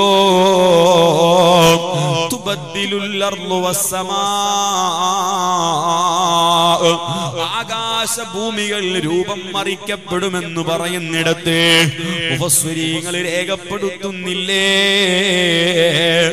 താഴ്ഭാഗം ചെമ്പിന്റെ തകിടുകളാണ്. നേരെ മുകളിൽ സൂര്യനാണ്. താഴെ ചെമ്പ് തിളച്ചു മറയുകയാണ്. ചുറ്റുഭാഗത്തെ വിയർപ്പിൽ മുങ്ങിക്കുളിക്കുകയാണ് ആ വിയർപ്പോ അതും തിളച്ചു മറിയുകയാണ്. അങ്ങനത്തെ മഴസറയിൽ ഒരു ദിവസമല്ല ഒരാഴ്ചയല്ല ഒരു മാസമല്ല ഒരു വർഷമല്ല. ഏറ്റവും ചുരുങ്ങിയത് അൻപതിനായിരം കൊല്ലമാണ്. ആ അൻപതിനായിരം കൊല്ലം നിൽക്കുമ്പോൾ ഉപ്പയായ ആദം നബിരടുക്കൽ പോകുന്നുണ്ട്. മറ്റമ്പിയാക്കന്മാരെ സമീപിക്കുന്നുണ്ട്. പക്ഷേ ഒരാളും സ്വീകരിക്കുന്നില്ല. മക്കളെ കാണുമ്പോഴേക്ക് വാപ്പമാരോടി ഒളിക്കുന്നു. ഉമ്മമാര് മുഖം മറക്കാൻ ശ്രമിക്കുന്നു. അണികളെ കാണുമ്പോഴേക്ക് നേതാക്കളോടി ഒളിക്കുന്നു. എല്ലാവരും പരസ്പരം പഴിചാരുന്നു അങ്ങനെ അവസാനം നമുക്ക് ചെല്ലാനുള്ളൊരു നേതാവുണ്ട്. ആ നേതാവാരാണ് അഷ്റഫുൽ ഖൽഖ് മുഹമ്മദുർ റസൂലുള്ളാഹ്. സല്ലല്ലാഹു അലൈഹി വസല്ലമ തങ്ങളാണ്. ചെറുപ്പക്കാരെ പോകാതിരിക്കാൻ പറ്റുമോ? നമുക്ക് ആ റസൂലുള്ളാന്റെ മുമ്പിലേക്ക് പോകുമ്പോൾ മോനെ പള്ളിയിൽ നിന്ന് ബാങ്ക് കൊടുത്തിട്ട് നിനക്ക് നിന്റെ കളിയൊന്ന് നിർത്തിയിട്ട് പള്ളിയിൽ വരാൻ പറ്റിയില്ലെങ്കിൽ ആ റസൂലുള്ളാന്റെ മുഖത്ത് നോക്കണ്ടേ ചെറുപ്പക്കാരാ. റബിയുൽ അവ്വൽ വന്നിട്ട് പോലും നിന്റെ മുഖത്തെ താടി വെക്കാൻ നിന്നെ കൊണ്ട് പറ്റിയില്ലെങ്കിൽ ഉപ്പമാരെ പിന്നെ എങ്ങനെയാ നമ്മളാ റസൂലുള്ളാന്റെ മുഖത്തു നോക്കുന്നത്? ഓ പ്രിയപ്പെട്ടവരെ റസൂലുള്ളാഹി തങ്ങളോടുള്ള മഹബത്തല്ലാതെ എന്താണ് നമുക്ക് പ്രതീക്ഷയുള്ളത്? അതുകൊണ്ടല്ലേ പൂർവീകന്മാർ മുഴുവനും ആ റസൂലുള്ളാനെ പ്രണയിച്ചത്? ബഹുമാനപ്പെട്ട സുദ്ദീഖുൽ അക്ബർ റളിയല്ലാഹു ആ റസൂലുള്ളാനെ പ്രണയിച്ചതിന്റെ ചരിത്രം എത്രയാണ്? ചരിത്രകാരന്മാർ രേഖപ്പെടുത്തുന്നത്. അവിടെ നദാ മക്കയിൽ നിന്നു മദീനയിലേക്കൊരു യാത്രയുണ്ടല്ലോ. ആ യാത്രാ മധ്യത്തിലെ ചരിത്രങ്ങൾ എത്രയാണ് മഹാന്മാര് രേഖപ്പെടുത്തുന്നത്? ബഹുമാനപ്പെട്ട നബി സല്ലല്ലാഹു അലൈഹി വസല്ലമ തങ്ങളെ കൂടെ സുദ്ദീഖ് തങ്ങൾ ഇങ്ങനെ നടക്കുമ്പോൾ അവിടെ നദാ കൂടെ നിൽക്കുമ്പോൾ പെട്ടെന്ന് മുന്നോട്ടോടുകയാണ്. അതേ കുറെ മുന്നോട്ടോടിയാൽ പിന്നെയും പിന്നിലേക്ക് വരുന്നു. പിന്നെ പിന്നിലേക്ക് ഓടുന്നു. റസൂലുള്ളാന്റെ കൂടെ നടക്കുന്നു. വലതുഭാഗത്തേക്ക് ഓടുന്നു തിരിച്ചു വരുന്നു. ഇടതുഭാഗത്തേക്ക് ഓടുന്നു തിരിച്ചു വരുന്നു. അങ്ങനെ നാനാ ഭാഗത്തേക്കും ഓടിക്കൊണ്ടിരിക്കുമ്പോൾ ചോദിച്ചു സുദ്ദീഖ് തങ്ങളെ എന്തിനാണ് അങ്ങ് ഇത്രമാത്രം കഷ്ടപ്പെടുന്നത്? എന്തിനാണങ്ങ് മുന്നിലേക്കും പിന്നിലേക്കും വശങ്ങളിലേക്കും ഓടുന്നത്? അവിടുന്ന് പറഞ്ഞു ഞാൻ കൂടെ നടക്കുമ്പോൾ എന്റെ മനസ്സ് പറയും ശത്രുക്കളെങ്ങാനും മുന്നിൽ നിന്ന് വരുന്നുണ്ടോ? അങ്ങനെ വല്ല ശത്രുവും വരുന്നുണ്ടെങ്കിൽ എന്റെ ഹബീബായ മുത്തുനബിയെ തൊട്ടുകൂടാ. തൊടുന്നെങ്കിൽ അവരാദ്യം എന്നെ തൊടട്ടെ എന്നെ വധിക്കട്ടെ. അതിനുശേഷമല്ലാതെ എന്റെ ഹബീബിനെ തൊട്ടുകൂടാ. മുന്നിലോടുമ്പോ തോന്നുന്നു പിന്നിൽ നിന്ന് ശത്രുക്കൾ വരുന്നുണ്ട്. ഞാൻ പിന്നിലേക്ക് ഓടുന്നു പിന്നെ വശങ്ങളിലേക്ക് ഓടുന്നു. എവിടെ നിന്ന് ശത്രുക്കൾ വന്നാലും എന്നെ വധിച്ചിട്ടല്ലാതെ എന്റെ ഹബീബിനെ തൊട്ടുകൂടാ. ആ നബി സല്ലല്ലാഹു അലൈഹി വസല്ലമ തങ്ങളെ കൂടെ അവിടെ നദാ മലമുകളിലേക്ക് കയറുന്നു. ചരിത്രം എത്ര വിശാലമാണ്. തന്നെക്കാൾ രണ്ട് വയസ്സിലധികം കൂടുതലുള്ള നബി സല്ലല്ലാഹു അലൈഹി വസല്ലമ തങ്ങളെ ചെറിയ കുട്ടികളെ തോളിലെടുക്കും പോലെ മുത്തുനബിയെ ചുമലിലേറ്റുന്നു. എന്നിട്ടാ പാറക്കല്ലുകൾ പൊത്തിപ്പിടിച്ച് മുകളിലേക്ക് കയറുന്നു. മുകളിലെത്തിയിട്ടോ? ബഹുമാനപ്പെട്ട സുദ്ദീഖുൽ അക്ബർ റളിയല്ലാഹു അൻഹു ഇരുത്തിയിട്ട് അവിടുന്ന് പറയുന്നു നബിയേ ആ ഗുഹയുടെ ഉള്ളിലേക്ക് ഞാനൊന്നു ചെല്ലട്ടെ നബിയേ. അവിടത്തെ ആ ഗുഹയുടെ ഉള്ളിൽ വല്ലയുടെ ജന്തുക്കൾ ഉണ്ടെങ്കിൽ ഹിംസ്ര ജന്തുക്കൾ ഉണ്ടെങ്കിൽ പിടിമൃഗങ്ങൾ ഉണ്ടെങ്കിൽ അവകൾ എന്നെ പിടിക്കട്ടെ നബിയേ. അങ്ങയെ തൊട്ടുകൂടാ. അങ്ങയെ സ്പർശിച്ചുകൂടാ. ആ ഗുഹയുടെ ഉള്ളിലേക്ക് കടന്നു ചെന്ന് അവിടെ മുഴുവനും വൃത്തിയാക്കിയതിന് ശേഷം ഗുഹയുടെ വശങ്ങളിൽ ചില മാളങ്ങൾ ദ്വാരങ്ങൾ കാണുന്നു. രണ്ടാമതൊന്നും ആലോചിക്കേണ്ടി വന്നില്ല. താൻ ധരിച്ച ഷർട്ടെടുക്കുന്നു അത് പീസു പീസാക്കിയിട്ട് ഓരോ മാളങ്ങളും അടച്ചു വെക്കുന്നു. പക്ഷേ വീണ്ടും ദ്വാരം ബാക്കിയാണ്. ചിന്തിക്കേണ്ടി വന്നില്ല. സുത്ത് നബിയുടെ പ്രിയപ്പെട്ട കൂട്ടുകാരന്. അവിടത്തെ ശറവാക്കപ്പെട്ട കാലെടുത്ത് അതാ മാളത്തിലേക്ക് വെക്കുന്നു. എന്നിട്ട് വിളിക്കുന്നു നബിയേ വന്നോളൂ നബിയേ. ബഹുമാനപ്പെട്ട പ്രിയപ്പെട്ട ഹബീബിന് കിടക്കാൻ അവിടത്തെ മടി വിരിച്ചു കൊടുക്കുന്നു. മുത്തുനബിയുടെ പ്രിയപ്പെട്ട കൂട്ടുകാരൻ സുദ്ദീഖ് തങ്ങളതാ തന്റെ മടി വിരിച്ചു കൊടുക്കുന്നു.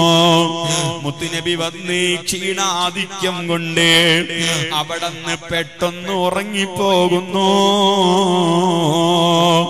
അപ്പോഴാണ് സന്ദർശകന്റെ പ്രവാഹമുള്ളത്. റസൂലുള്ളാന്റെ പ്രിയപ്പെട്ട കൂട്ടുകാരൻ സുദ്ദീഖ് തങ്ങളെ കാലിൽ ഒരു വലിയ സർപ്പം കടിക്കുന്നു. ഞാൻ ആ ചരിത്രമല്ല ഉദ്ദേശിക്കുന്നത് അറിയാവുന്നതാണ്. ആ സർപ്പം കടിച്ചപ്പോൾ സുദ്ദീഖ് തങ്ങൾക്ക് വല്ലാത്ത വേദനയുണ്ട്. പക്ഷേ കാലനക്കിയില്ല കാരണം തന്റെ കാലങ്ങാനും ഒന്ന് അനങ്ങിപ്പോയാൽ എന്റെ ഹബീബിന്റെ ഉറക്കം നഷ്ടപ്പെടുമോ? ചിന്തിച്ചിട്ട് കാലനങ്ങിയില്ല. വിഷം കയറിയിട്ട് സിദ്ദീഖ് തങ്ങളെ കാലിന്റെ നിറം മാറുന്നു. പിടിച്ചു നിൽക്കുന്നു. പക്ഷേ കണ്ണ് സമ്മതിക്കുന്നില്ല സങ്കടം കൊണ്ട് വേദന കൊണ്ട് കണ്ണിൽ നിന്ന് കണ്ണുനീര് വരുന്നു. അവിടത്തെ തിക്കായ താടിയിലൂടെ ആ കണ്ണുനീരൊലിച്ച് മുത്തുനബിയുടെ തിരുമുഖത്ത് പതിക്കുന്നു. റസൂലുള്ളാന്റെ തിരുമുഖത്ത് തന്റെ കൂട്ടുകാരന്റെ കണ്ണുനീരുറ്റിയപ്പോ ഞെട്ടിയുണരുന്നു ചോദിക്കുന്നു സുദ്ദീ എന്തിനാണ് കരയുന്നത്? സുദ്ദീഖ് തങ്ങൾ അപ്പോഴും സങ്കടം പറഞ്ഞില്ല. അവിടെന്ന് പറഞ്ഞ സങ്കടം എന്താണെന്നറിയോ? നബിയേ എന്നോട് ക്ഷമിക്കണേ നബിയേ. അങ്ങയുടെ ഉറക്കം നഷ്ടപ്പെട്ടു ഇല്ലേ നബിയേ? എന്നോട് ക്ഷമിക്കണേ നബിയേ. ശേഷമാണ് പറയുന്നത് ചരിത്രം അതടയാളപ്പെടുത്തുന്നുണ്ട് എന്റെ കാലിൽ പാമ്പ് കടിച്ചു എന്തോ കടിച്ചിട്ടുണ്ട് നബിയേ. അതിന്റെ വേദന കാരണം അറിയാതെ കണ്ണുനീരുറ്റിപ്പോയതാണ്. വേദനയുടെ സങ്കടമല്ല ബോധിപ്പിക്കുന്നത്. അങ്ങയുടെ ഉറക്കം നഷ്ടപ്പെട്ടില്ലേ. നബിയേ. അതിനെന്നോട് ക്ഷമിക്കണേ നബിയേ. ബഹുമാനപ്പെട്ട അൻഹു. അവിടുത്തെ പ്രണയത്തിന്റെ കഥയാണത്. ഓ പ്രിയപ്പെട്ട മുഅ്മിനീങ്ങളെ അങ്ങനെ പ്രണയിച്ച സുദ്ദീഖിങ്ങളുടെ വഴി. അതാണ് മുസ്തഖീം. ഇനി എത്ര മഹാന്മാരുണ്ട്? ബഹുമാനപ്പെട്ട ഇമാം അബൂ ഹനീഫ റളിയല്ലാഹു അൻഹു. മാനവറുകളെ ചരിത്രം മയവിറക്കുമ്പോൾ സുബ്ഹാനല്ലാഹ് തന്റെ ശിഷ്യനായ മാലിക് അവിടുന്ന് മദീന വിട്ടു പോകുന്നില്ല. കാരണം ഹബീബിന്റെ കൂടെ നിൽക്കാനാണ് താല്പര്യമുള്ളത്. പക്ഷേ ഗുരുവായി അബൂ ഹനീഫ റളിയല്ലാഹു അൻഹു മദീനയിലേക്ക് വരുന്നില്ല. തന്നെ ഉടനെ മടങ്ങിപ്പോകുന്നു. ഒരു ദിവസം ബഹുമാനപ്പെട്ട മാം മാലിക് റളി ബഹുമാനപ്പെട്ട ഇമാം അബൂ ഹനീഫ റളിയല്ലാഹു അൻഹു മദീനയിലേക്ക് മുത്തുനബിയെ സന്ദർശിക്കാൻ വേണ്ടി വരുന്നു. അവിടെ എത്തിയാലോ? മദീനയുടെ ബൗണ്ടറി അങ്ങ് കടന്നാൽ ആ ചുട്ടുപൊള്ളുന്ന മണലാരുണ്യം മക്കയിലും മദീനയിലും പോയവർക്കറിയാം. അവിടത്തെ മണലുകൾക്ക് എന്ത് ചൂടാണ്? ചെരുപ്പ് ധരിക്കാതെ നിൽക്കാൻ പറ്റുമോ? ശക്തമായ ചൂടല്ലേ? അതേ ചെരുപ്പിടാതെ ചവിട്ടിയാൽ ചൂട് തലച്ചോറ്റിലേക്ക് പൊന്തൂല്ലേ? അങ്ങനെ അത്രയും ശക്തമായ ചൂടുള്ള മദീന ആ മദീനയിലേക്ക് നമ്മൾ ചെന്നാലോ? അവിടെ മദീന മുനവറയിലെ മസ്ജിദുൻ നബവിയുടെ മുറ്റം തലേ ചൂട് കിട്ടിയാൽ പുറത്തേക്ക് തണുപ്പ് എഫക്റ്റ് ചെയ്യുന്ന മാർബിൾ വധിച്ചിട്ടുണ്ട്. ശക്തമായ ചൂടിനെയും തണുപ്പാക്കി മാറ്റാൻ സംവിധാനമുള്ള നല്ല ഫാനുകളുള്ള നല്ല കുടകൾ സംവിധാനിച്ചിട്ടുണ്ട്. പക്ഷേ നമ്മൾ അവിടെ നടക്കുന്നത് എങ്ങനെയാണ്? ചെരുപ്പ് ധരിച്ചാണല്ലോ. മാത്രമല്ല മസ്ജിദ് നബവിയുടെ മൂന്ന് സ്റ്റെപ്പുകൾ. അതും ചെരുപ്പിട്ടല്ലേ നമ്മൾ കയറാറുള്ളത്. മാത്രമല്ല ഇനി അവിടെ എത്തിയാലോ? ആ ചെരുപ്പും കയ്യിൽ പിടിച്ചല്ലേ ഞാനും നിങ്ങളും അകത്തു കയറാറുള്ളത്. കുറ്റപ്പെടുത്തുകയല്ല നമ്മൾ അങ്ങനെയാണ്. പക്ഷേ മദീന ബൗണ്ടറിയിലെത്തിയാൽ പിന്നെ വാഹനപ്പുറത്ത് കയറൂല. ചെരുപ്പ് ധരിക്കൂല. അങ്ങനെ മദീന മണലിലൂടെ ചുട്ടുപടിക്കുന്ന മണലാരുണ്യത്തിലൂടെ നഗ്ന നഗ്നപാതനായി നടക്കുന്നു.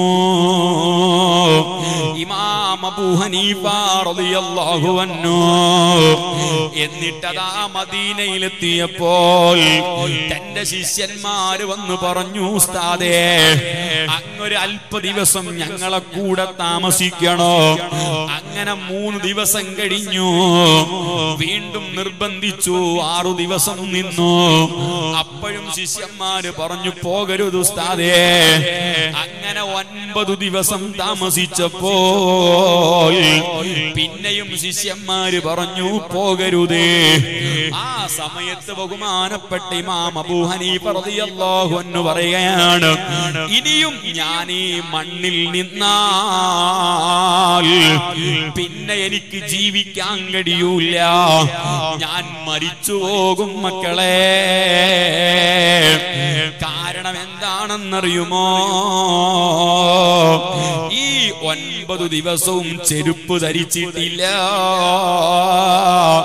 ഇത്രയും ദിവസം ഞാനൊന്നും ഉറങ്ങിയിട്ടില്ല. ഈ ഒൻപത് ദിവസവും മലമൂത്ര വിസർജ്യം നടത്തിയിട്ടില്ല. എന്റെ ബഹുമാനപ്പെട്ട ഇമാം അബൂ തങ്ങൾ ചെരുപ്പ് ധരിക്കാത്തത്? ചൂടില്ലാത്തത് കൊണ്ടാണോ? അല്ല അല്ല. മനസ്സ് സമ്മതിക്കുന്നില്ല. കാരണോ എന്റെ ഹബീബല്ലേ മദീനയിലെ മണ്ണിൽ കിടക്കുന്നത്. ആ ഹബീബായ മുത്തുനബി കിടക്കുന്ന മണ്ണിൽ ഞാൻ എങ്ങനെ ചെരുപ്പിട്ട് ചവിട്ടാനാണ്? അതുകൊണ്ട് നഗ്നപാദൻ തന്നെ. പിന്നെ എന്തേ ഇമാം അബൂ റളിയല്ലാഹു അൻഹു ഉറങ്ങാത്തത് മാനവറുകൾ പറയുന്നു ഞാനെങ്ങാനും ഉറങ്ങുന്ന സമയത്ത് അറിയാതെ എന്റെ കാലെങ്ങാനും മദീന മുനവ്വറയിലെ ഹുജറത്തു ശരീഫയിൽ അന്ത്യവിശ്രമം കൊള്ളുന്ന എന്റെ നേതാവ് അഷ്റഫുൽ ഖൽഖ് മുഹമ്മദുർ റസൂലുള്ളാഹ് അലൈഹി വസല്ലമ തങ്ങൾ അവിടത്തെ തിരുശരീരത്തെ മറവു ചെയ്ത ആ പുണ്യഗേഹത്തിനു നേരെ എന്റെ കാലങ്ങാനും വന്നു പോകുമോ? ഉറക്കത്തിൽ അറിയാതെ എന്റെ കാൽ നീങ്ങിപ്പോകുമോ? ഭയപ്പെട്ടിട്ട് ഉറങ്ങിയില്ല.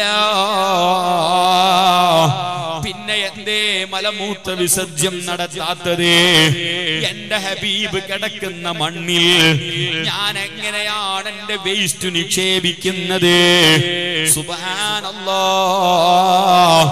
ഇത് മഹബത്തിന്റെ മറ്റൊരു ലോകമാണ്. ചെറുപ്പക്കാരെ നമുക്കും മുത്തുനബിയിലേക്ക് അടുക്കണ്ടേ നമുക്കും ആ റസൂലുള്ളാഹിയിലേക്ക് അടുക്കണ്ടേ നമ്മൾ സ്പോർട്സ് താരങ്ങൾക്ക് പിന്നാലെ പോയി കൂടാ കാരണം എന്തേ നമ്മളെ പ്രയാസങ്ങൾ അറിയുന്നുണ്ടോ അവർ? നിങ്ങൾ സ്നേഹിക്കുന്ന ഏതെങ്കിലും സ്പോർട്സ് താരങ്ങൾ ഏതെങ്കിലും അതുപോലെ സിനിമാ താരങ്ങൾ നിങ്ങളെ അറിയുന്നുണ്ടോ? എന്നാൽ നിങ്ങളെ കാലൊരു കല്ലിൽ വെച്ചു തട്ടിയാൽ നിങ്ങളെ ഒന്ന് വേദനിച്ചാൽ അതറിയുന്ന നേതാവാണ് മുഹമ്മദുർ വസല്ലമ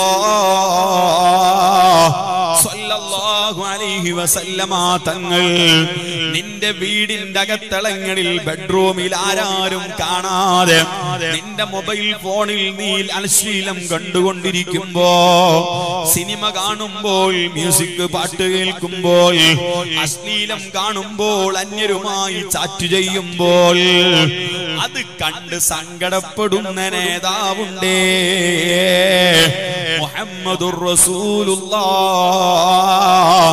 ഈ തണുപ്പുള്ള രാത്രിയിലും വാഴു കേൾക്കാൻ വേണ്ടി റസൂലുള്ളാന്റെ മഹബത്ത് പറയുന്നത് കേൾക്കാൻ വേണ്ടി ഒരുമിച്ച് കൂടിയ ഉപ്പമാരെ നിങ്ങളെ കണ്ട് സന്തോഷിക്കുന്ന നേതാവാണ് റസൂലുള്ളാഹ്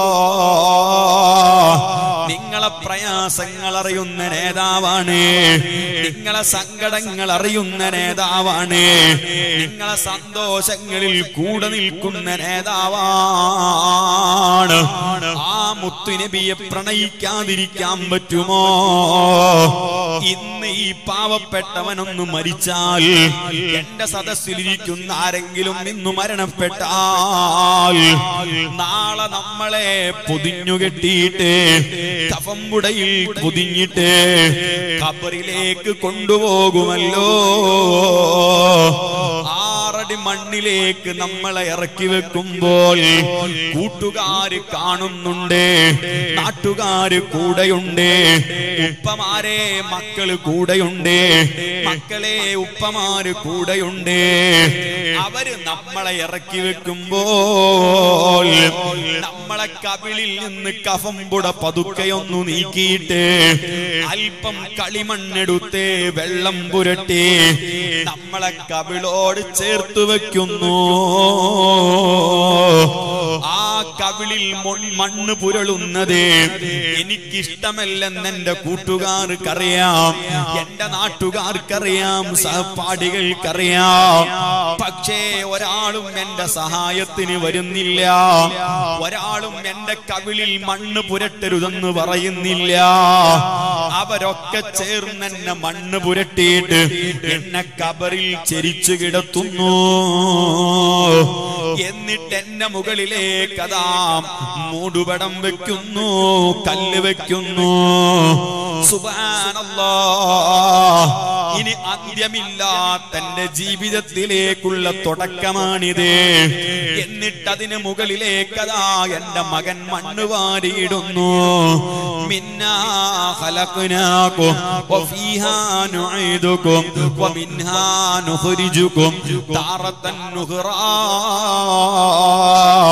ഇതും പറഞ്ഞെനിക്ക് യാത്രാമൊഴി പറഞ്ഞ് മണ്ണിട്ട് തിരിച്ചു പോന്നാൽ എന്റെ അടുക്കലേക്ക് രണ്ട് മലക്കുകൾ വരുമല്ലോ.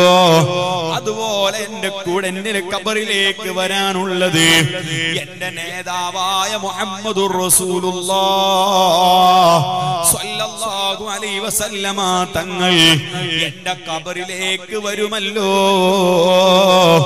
ആ സമയത്ത് താടിയില്ലാത്ത ക്ലീൻ ഷേവ് ചെയ്ത ഉപ്പമാരുണ്ടെങ്കിൽ മുത്തുനബിയെ കാണണ്ടേ ഉപ്പമാരെ?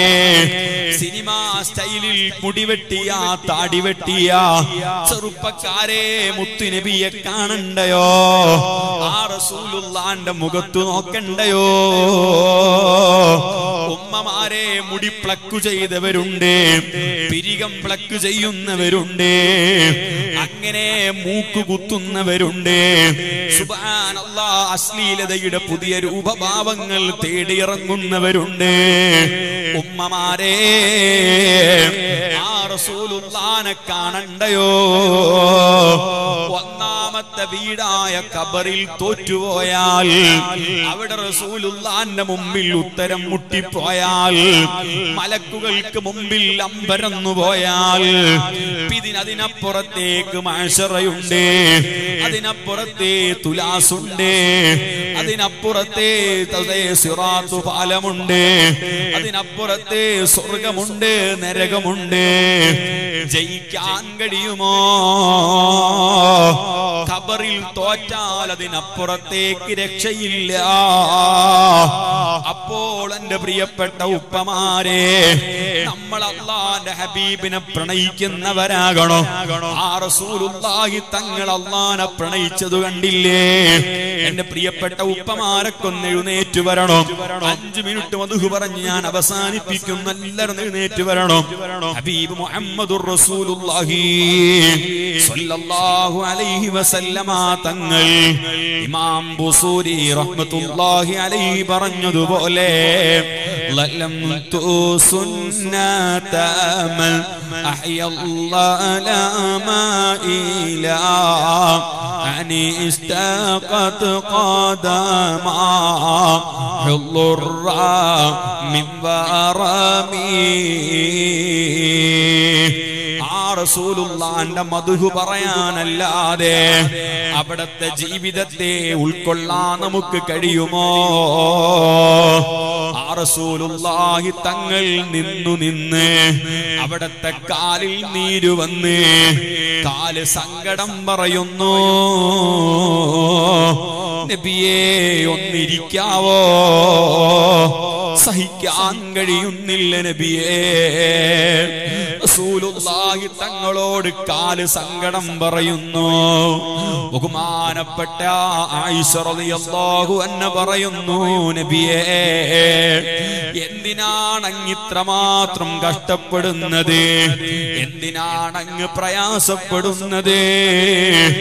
ജീവിതത്തിൽ ഒരു തെറ്റും വന്നിട്ടില്ലല്ലോ നബിയേ. എന്നാൽ വന്നു പോയാലോ സപ്പോസ് അങ്ങനെ ഉണ്ടാകൂല. എങ്കിലും പറയുന്നു.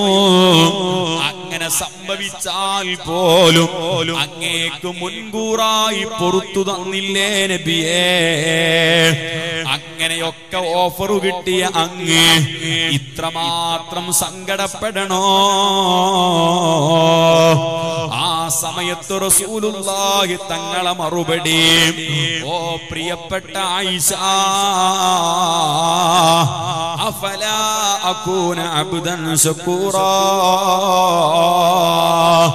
നാളെ ഞാൻ എന്റെ റബ്ബിന്റെ മുമ്പിലേക്ക് എത്തുമ്പോൾ ഒരു നന്ദിയുള്ള അടിമയാകണ്ടയോ? സുബാനല്ലാ ആരാണീ പറയുന്നത്? രാത്രി സമയങ്ങളിൽ കിടന്നുറങ്ങി രാവിലെ എഴുന്നേറ്റ് വരുമ്പോൾ ആ വെളുവെളുത്ത ശരീരത്തിൽ ഈത്തപ്പന ഓലയുടെ അടയാളം കാണുമ്പോൾ ബഹുമാനപ്പെട്ട ഉമർ ഹത്താബ് റളിയല്ലാഹു ചോദിക്കുന്നു. അല്ലയോ നബിയേ ഒന്ന് സമ്മതിക്കോ നബിയേ? അങ്ങേക്ക് നല്ല മെത്തയുണ്ടാക്കി തരാം നബിയേ. ആ സമയത്ത് മുത്തു നബിയുടെ മറുപടി ഇല്ല എനിക്ക് ദുനിയാവ് ആവശ്യമില്ല. അങ്ങനത്തെ മുത്തു നബിയാ പറയുന്നത്. ഞാനൊരു നന്ദിയുള്ള അടിമയാകണ്ടയോ? ഇരുപത്തിനാല് ചതുരശ്ര കിലോമീറ്റർ വിസ്തൃതിയുള്ള ഉഹുദ് പർവതത്തിലേക്ക് ചൂണ്ടിയിട്ട് മലക്കുകൾ ചോദിക്കുന്നു നബിയെ അങ്ങേക്ക് ഉപയോഗിക്കാൻ പറ്റിയ രൂപത്തിൽ ഈ പർവതം മുഴുവനും സ്വർണമാക്കി തരട്ടെ നബിയേ. അപ്പോഴും റസൂലുള്ളാഹി തങ്ങളെ മറുപടി എനിക്ക് ദുനിയാവ് വേണ്ട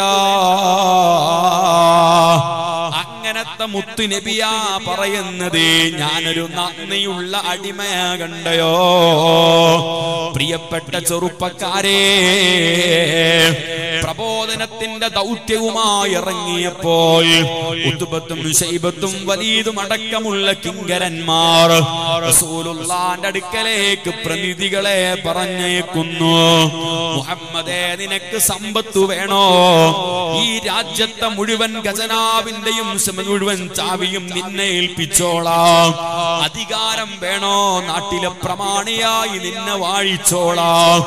തരുണികളെ വേണോ? ഞങ്ങളെ മക്കളിൽ നിനക്ക് ഇഷ്ടമുള്ളവരെ സെലക്ട് ചെയ്യാം. നീ നിന്റെ ഈ പ്രബോധനത്തിന്റെ ദൗത്യത്തിൽ നിന്നൊന്നു മാറി നിൽക്കുമോ? അപ്പോഴും റസൂലുള്ളാന്റെ മറുപടി എനിക്ക് ദുനിയാവ് വേണ്ട. الله ചെറുപ്പക്കാരെ നമുക്കൊരു പോസ്റ്റർ ഒട്ടിക്കാൻ ഉറക്കമൊടിക്കാൻ വയ്യ. നമുക്ക് സംഘടനാ പ്രവർത്തനങ്ങളിൽ തിരക്ക് സമ്മതിക്കുന്നില്ല. മീറ്റിംഗ് ആഴ്ചയിൽ ഒന്നാകുമ്പോഴേക്ക് പ്രശ്നങ്ങൾ കൂടുകയാണ്. ആ മുത്തുനബിയോ മക്കയിൽ നിന്നും മദീനയിലേക്ക് നാനൂറ്റി എൺപത് കിലോമീറ്ററുകളുണ്ട് ആ കിലോമീറ്ററുകൾ നല്ല എ സി ബസ്സിൽ യാത്ര ചെയ്യുമ്പോൾ ഇന്ന് മെട്രോ സംവിധാനങ്ങൾ രൂപകൽപ്പന ചെയ്യുമ്പോൾ അതിൽ മണിക്കൂറുകൾ ഇരിക്കുമ്പോഴേക്ക് നമ്മളെ കാലിൽ നീര് വരികയാണ്. ഇന്ന് കോഴിക്കോട് നിന്ന് മംഗലാപുരത്തെത്തിയപ്പോഴേക്ക് സാധുവായ ഞാൻ ക്ഷീണിച്ചു പോയിട്ടുണ്ട്. എന്നാൽ ബഹുമാനപ്പെട്ട ഹബീബ് മുഹമ്മദ് തങ്ങളെ ചരിത്രം പറയുന്ന മക്കയിൽ നിന്ന് മദീനയിലേക്ക് നാനൂറ്റി എൺപത് കിലോമീറ്ററുകൾ ബസ്സിൽ യാത്ര ചെയ്യുമ്പോൾ അതിന്റെ കർട്ടൻ പതുക്കെയൊന്നു മാറ്റിയാൽ അതിന്റെ വശങ്ങളിൽ വലിയ മൊട്ടക്കുന്നുകൾ കാണാം വലിയ മുൾച്ചെടികൾ കാണാം. പ്രകാശ കിരണങ്ങളെ ചൂടേറ്റുകൊണ്ട് മിന്നിത്തിളങ്ങുന്ന മണൽ പരപ്പ് കാണാം.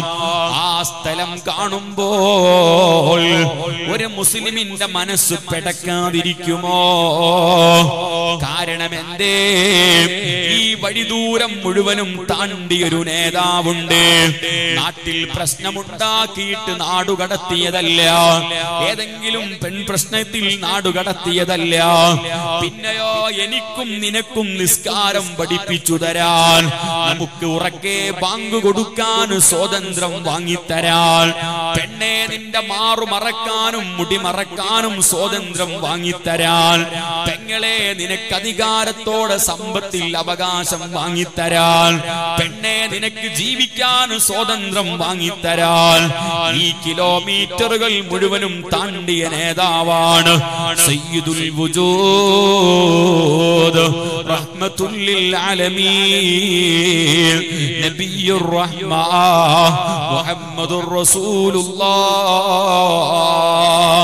സ്വല്ലല്ലാഹു അലൈഹി വസല്ലമ തങ്ങൾ.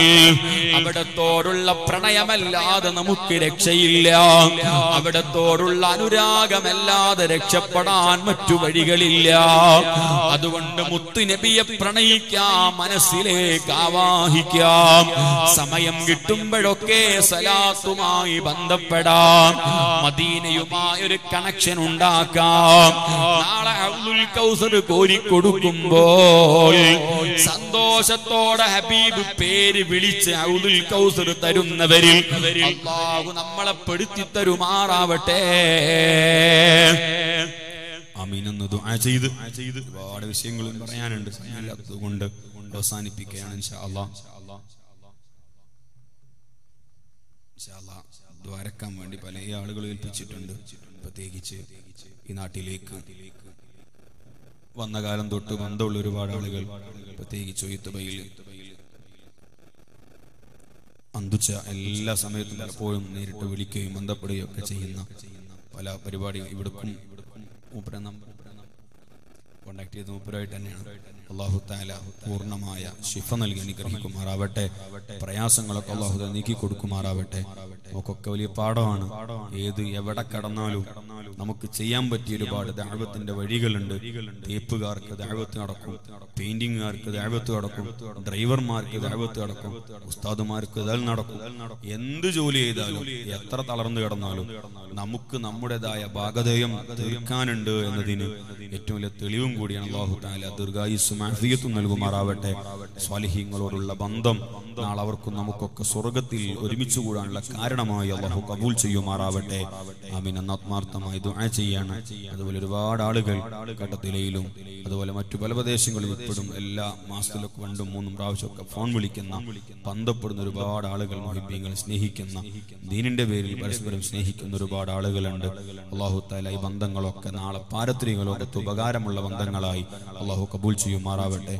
എവിടെ ചെന്നാലും വളരെ ആത്മാർത്ഥമായി സ്നേഹിക്കുന്ന അതുപോലെ ഇപ്പൊ പലപ്പോഴും പറയാറുണ്ട് കർണാടക ഭാഗത്ത് വന്നാൽ ഉസ്താമാർക്ക് ചിലപ്പോൾ അഹങ്കാരം കൂടി പോകും ഞാൻ പറയാറുണ്ട് പലപ്പോഴും. ചിലപ്പോ നമ്മളെ ബന്ധം മുത്തല്ലിമീങ്ങൾക്ക് വെള്ളെടുത്ത് തരുന്നത് വലിയ ഉപ്പമാര് കാരണവന്മാര് ഉസ്താദുമാരൊക്കെ കൈയഴുകാനും അത് ചെരുപ്പെടുത്ത് തരാനും അത് നമ്മളെ മഹത്വമല്ല എന്ന് പൂർണമായ ധാരണയുണ്ട്. മഹാന്മാരായ പൂർവികരായ ആത്മീയ നേതാക്കൾ നമുക്ക് ഉണ്ടാക്കി തന്ന വലിയൊരു ഇസ്സത്താണ് അള്ളാഹു താല ആ സ്നേഹം കിയാമം വരെ ഈ നാട്ടിൽ അള്ളാഹു നിലനിർത്തി തരുമാറാവട്ടെ. അതിന്റെ വറക്കത്തുകൊണ്ട് നമ്മുടെ മക്കളെയൊക്കെ ഹുലുസുന്നത്തി വൽ ജമാഅത്തിന്റെ യഥാർത്ഥ വിശ്വാസികളിൽ പെടുത്തി അള്ളാഹു അനുഗ്രഹിക്കുമാറാവട്ടെ അള്ളാഹ് ഒരു പതിനൊന്ന് തെഹിലിയിൽ ചൊല്ലി ഒരുപാട് ആളുകൾ മരണപ്പെട്ടു പോയ ആളുകൾക്ക് വേണ്ടിയൊക്കെ ഉണ്ട്. അള്ളാഹു അവരെ കപ്പാരത്തിലേക്ക് ലോകം സന്തോഷത്തിലായി കൊടുക്കുവാറാവട്ടെ ഒരു പതിനൊന്ന് തെഹിലിയിൽ മാത്രം ചൊല്ലി പ്രായലോപ്പാനൊക്കെ ഇരിക്കാം. പ്രയാസമൊന്നുമില്ല ഇൻഷാ പെട്ടെന്ന് അവസാനിപ്പിക്കും.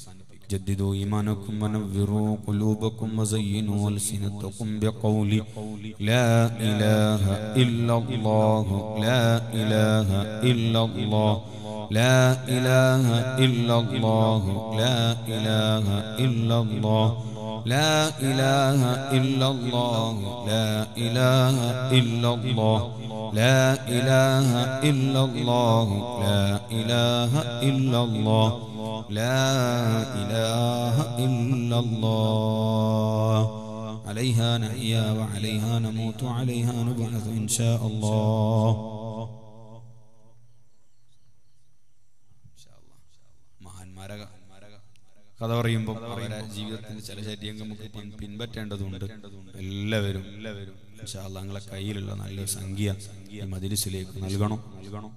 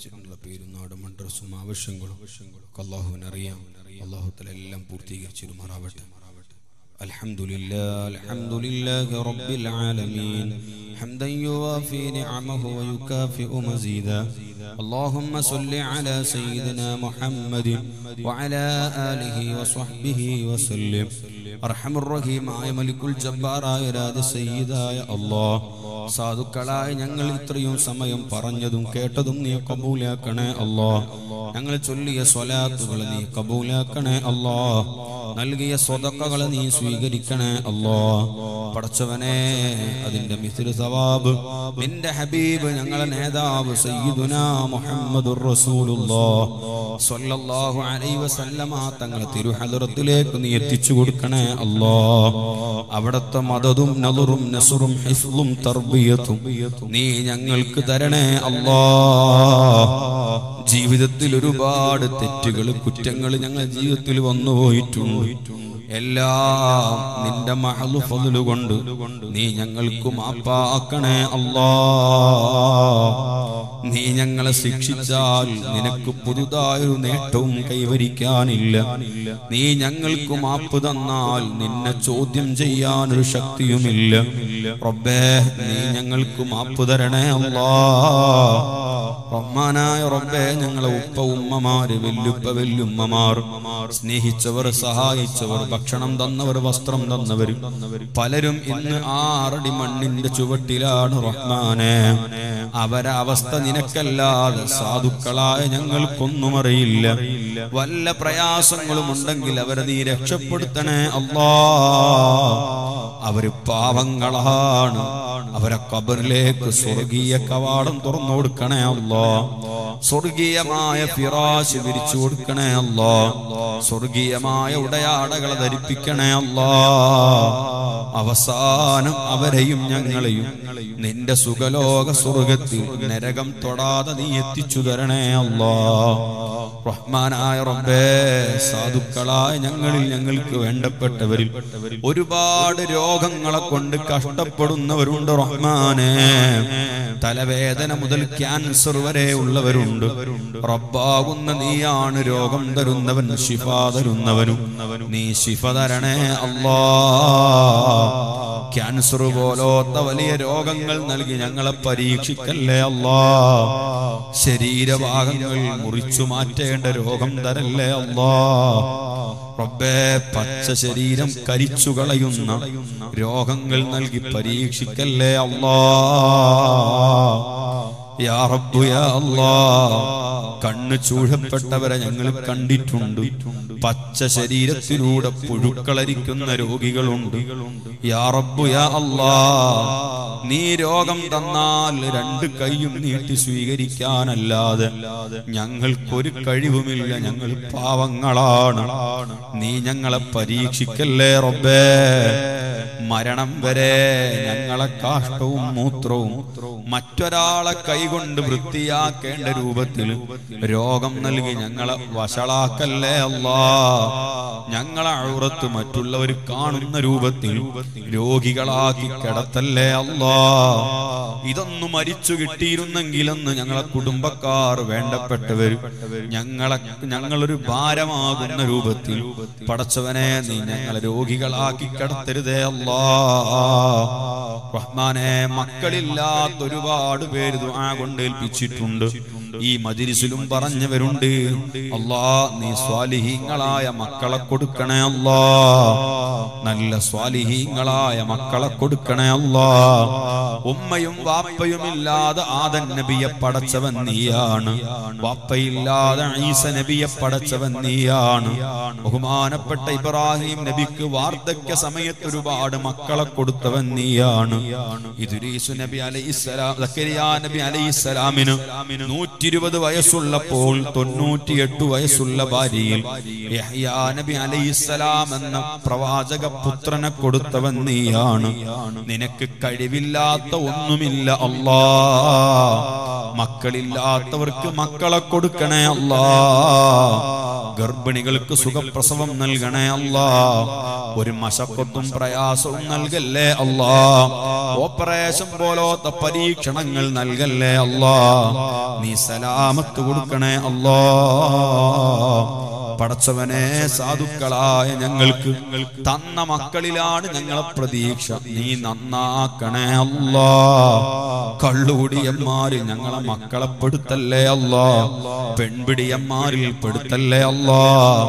മയക്കുമരുന്നിന്റെ ഉപഭോക്താക്കളിലും പ്രചാരകരിലും വിതരണക്കാരിലും ഞങ്ങളെ മക്കളെ പെടുത്തി ഞങ്ങളെ വഷളാക്കല്ലേ അല്ലോ. ഇരുപത്തിനാല് മണിക്കൂറും മൊബൈലിലും മറ്റുമായി. ദീനും ദുനിയാവും ചിന്തയില്ലാത്ത മക്കളാക്കി. ഞങ്ങളെ മക്കളെ നീ വളർത്തരുതേ അല്ലാ. പടച്ചവനെ അവർക്കൊക്കെ സൽബുദ്ധി കൊടുക്കണേ അല്ലാ. നേർവഴിയിൽ നടത്തണേ അല്ലാ.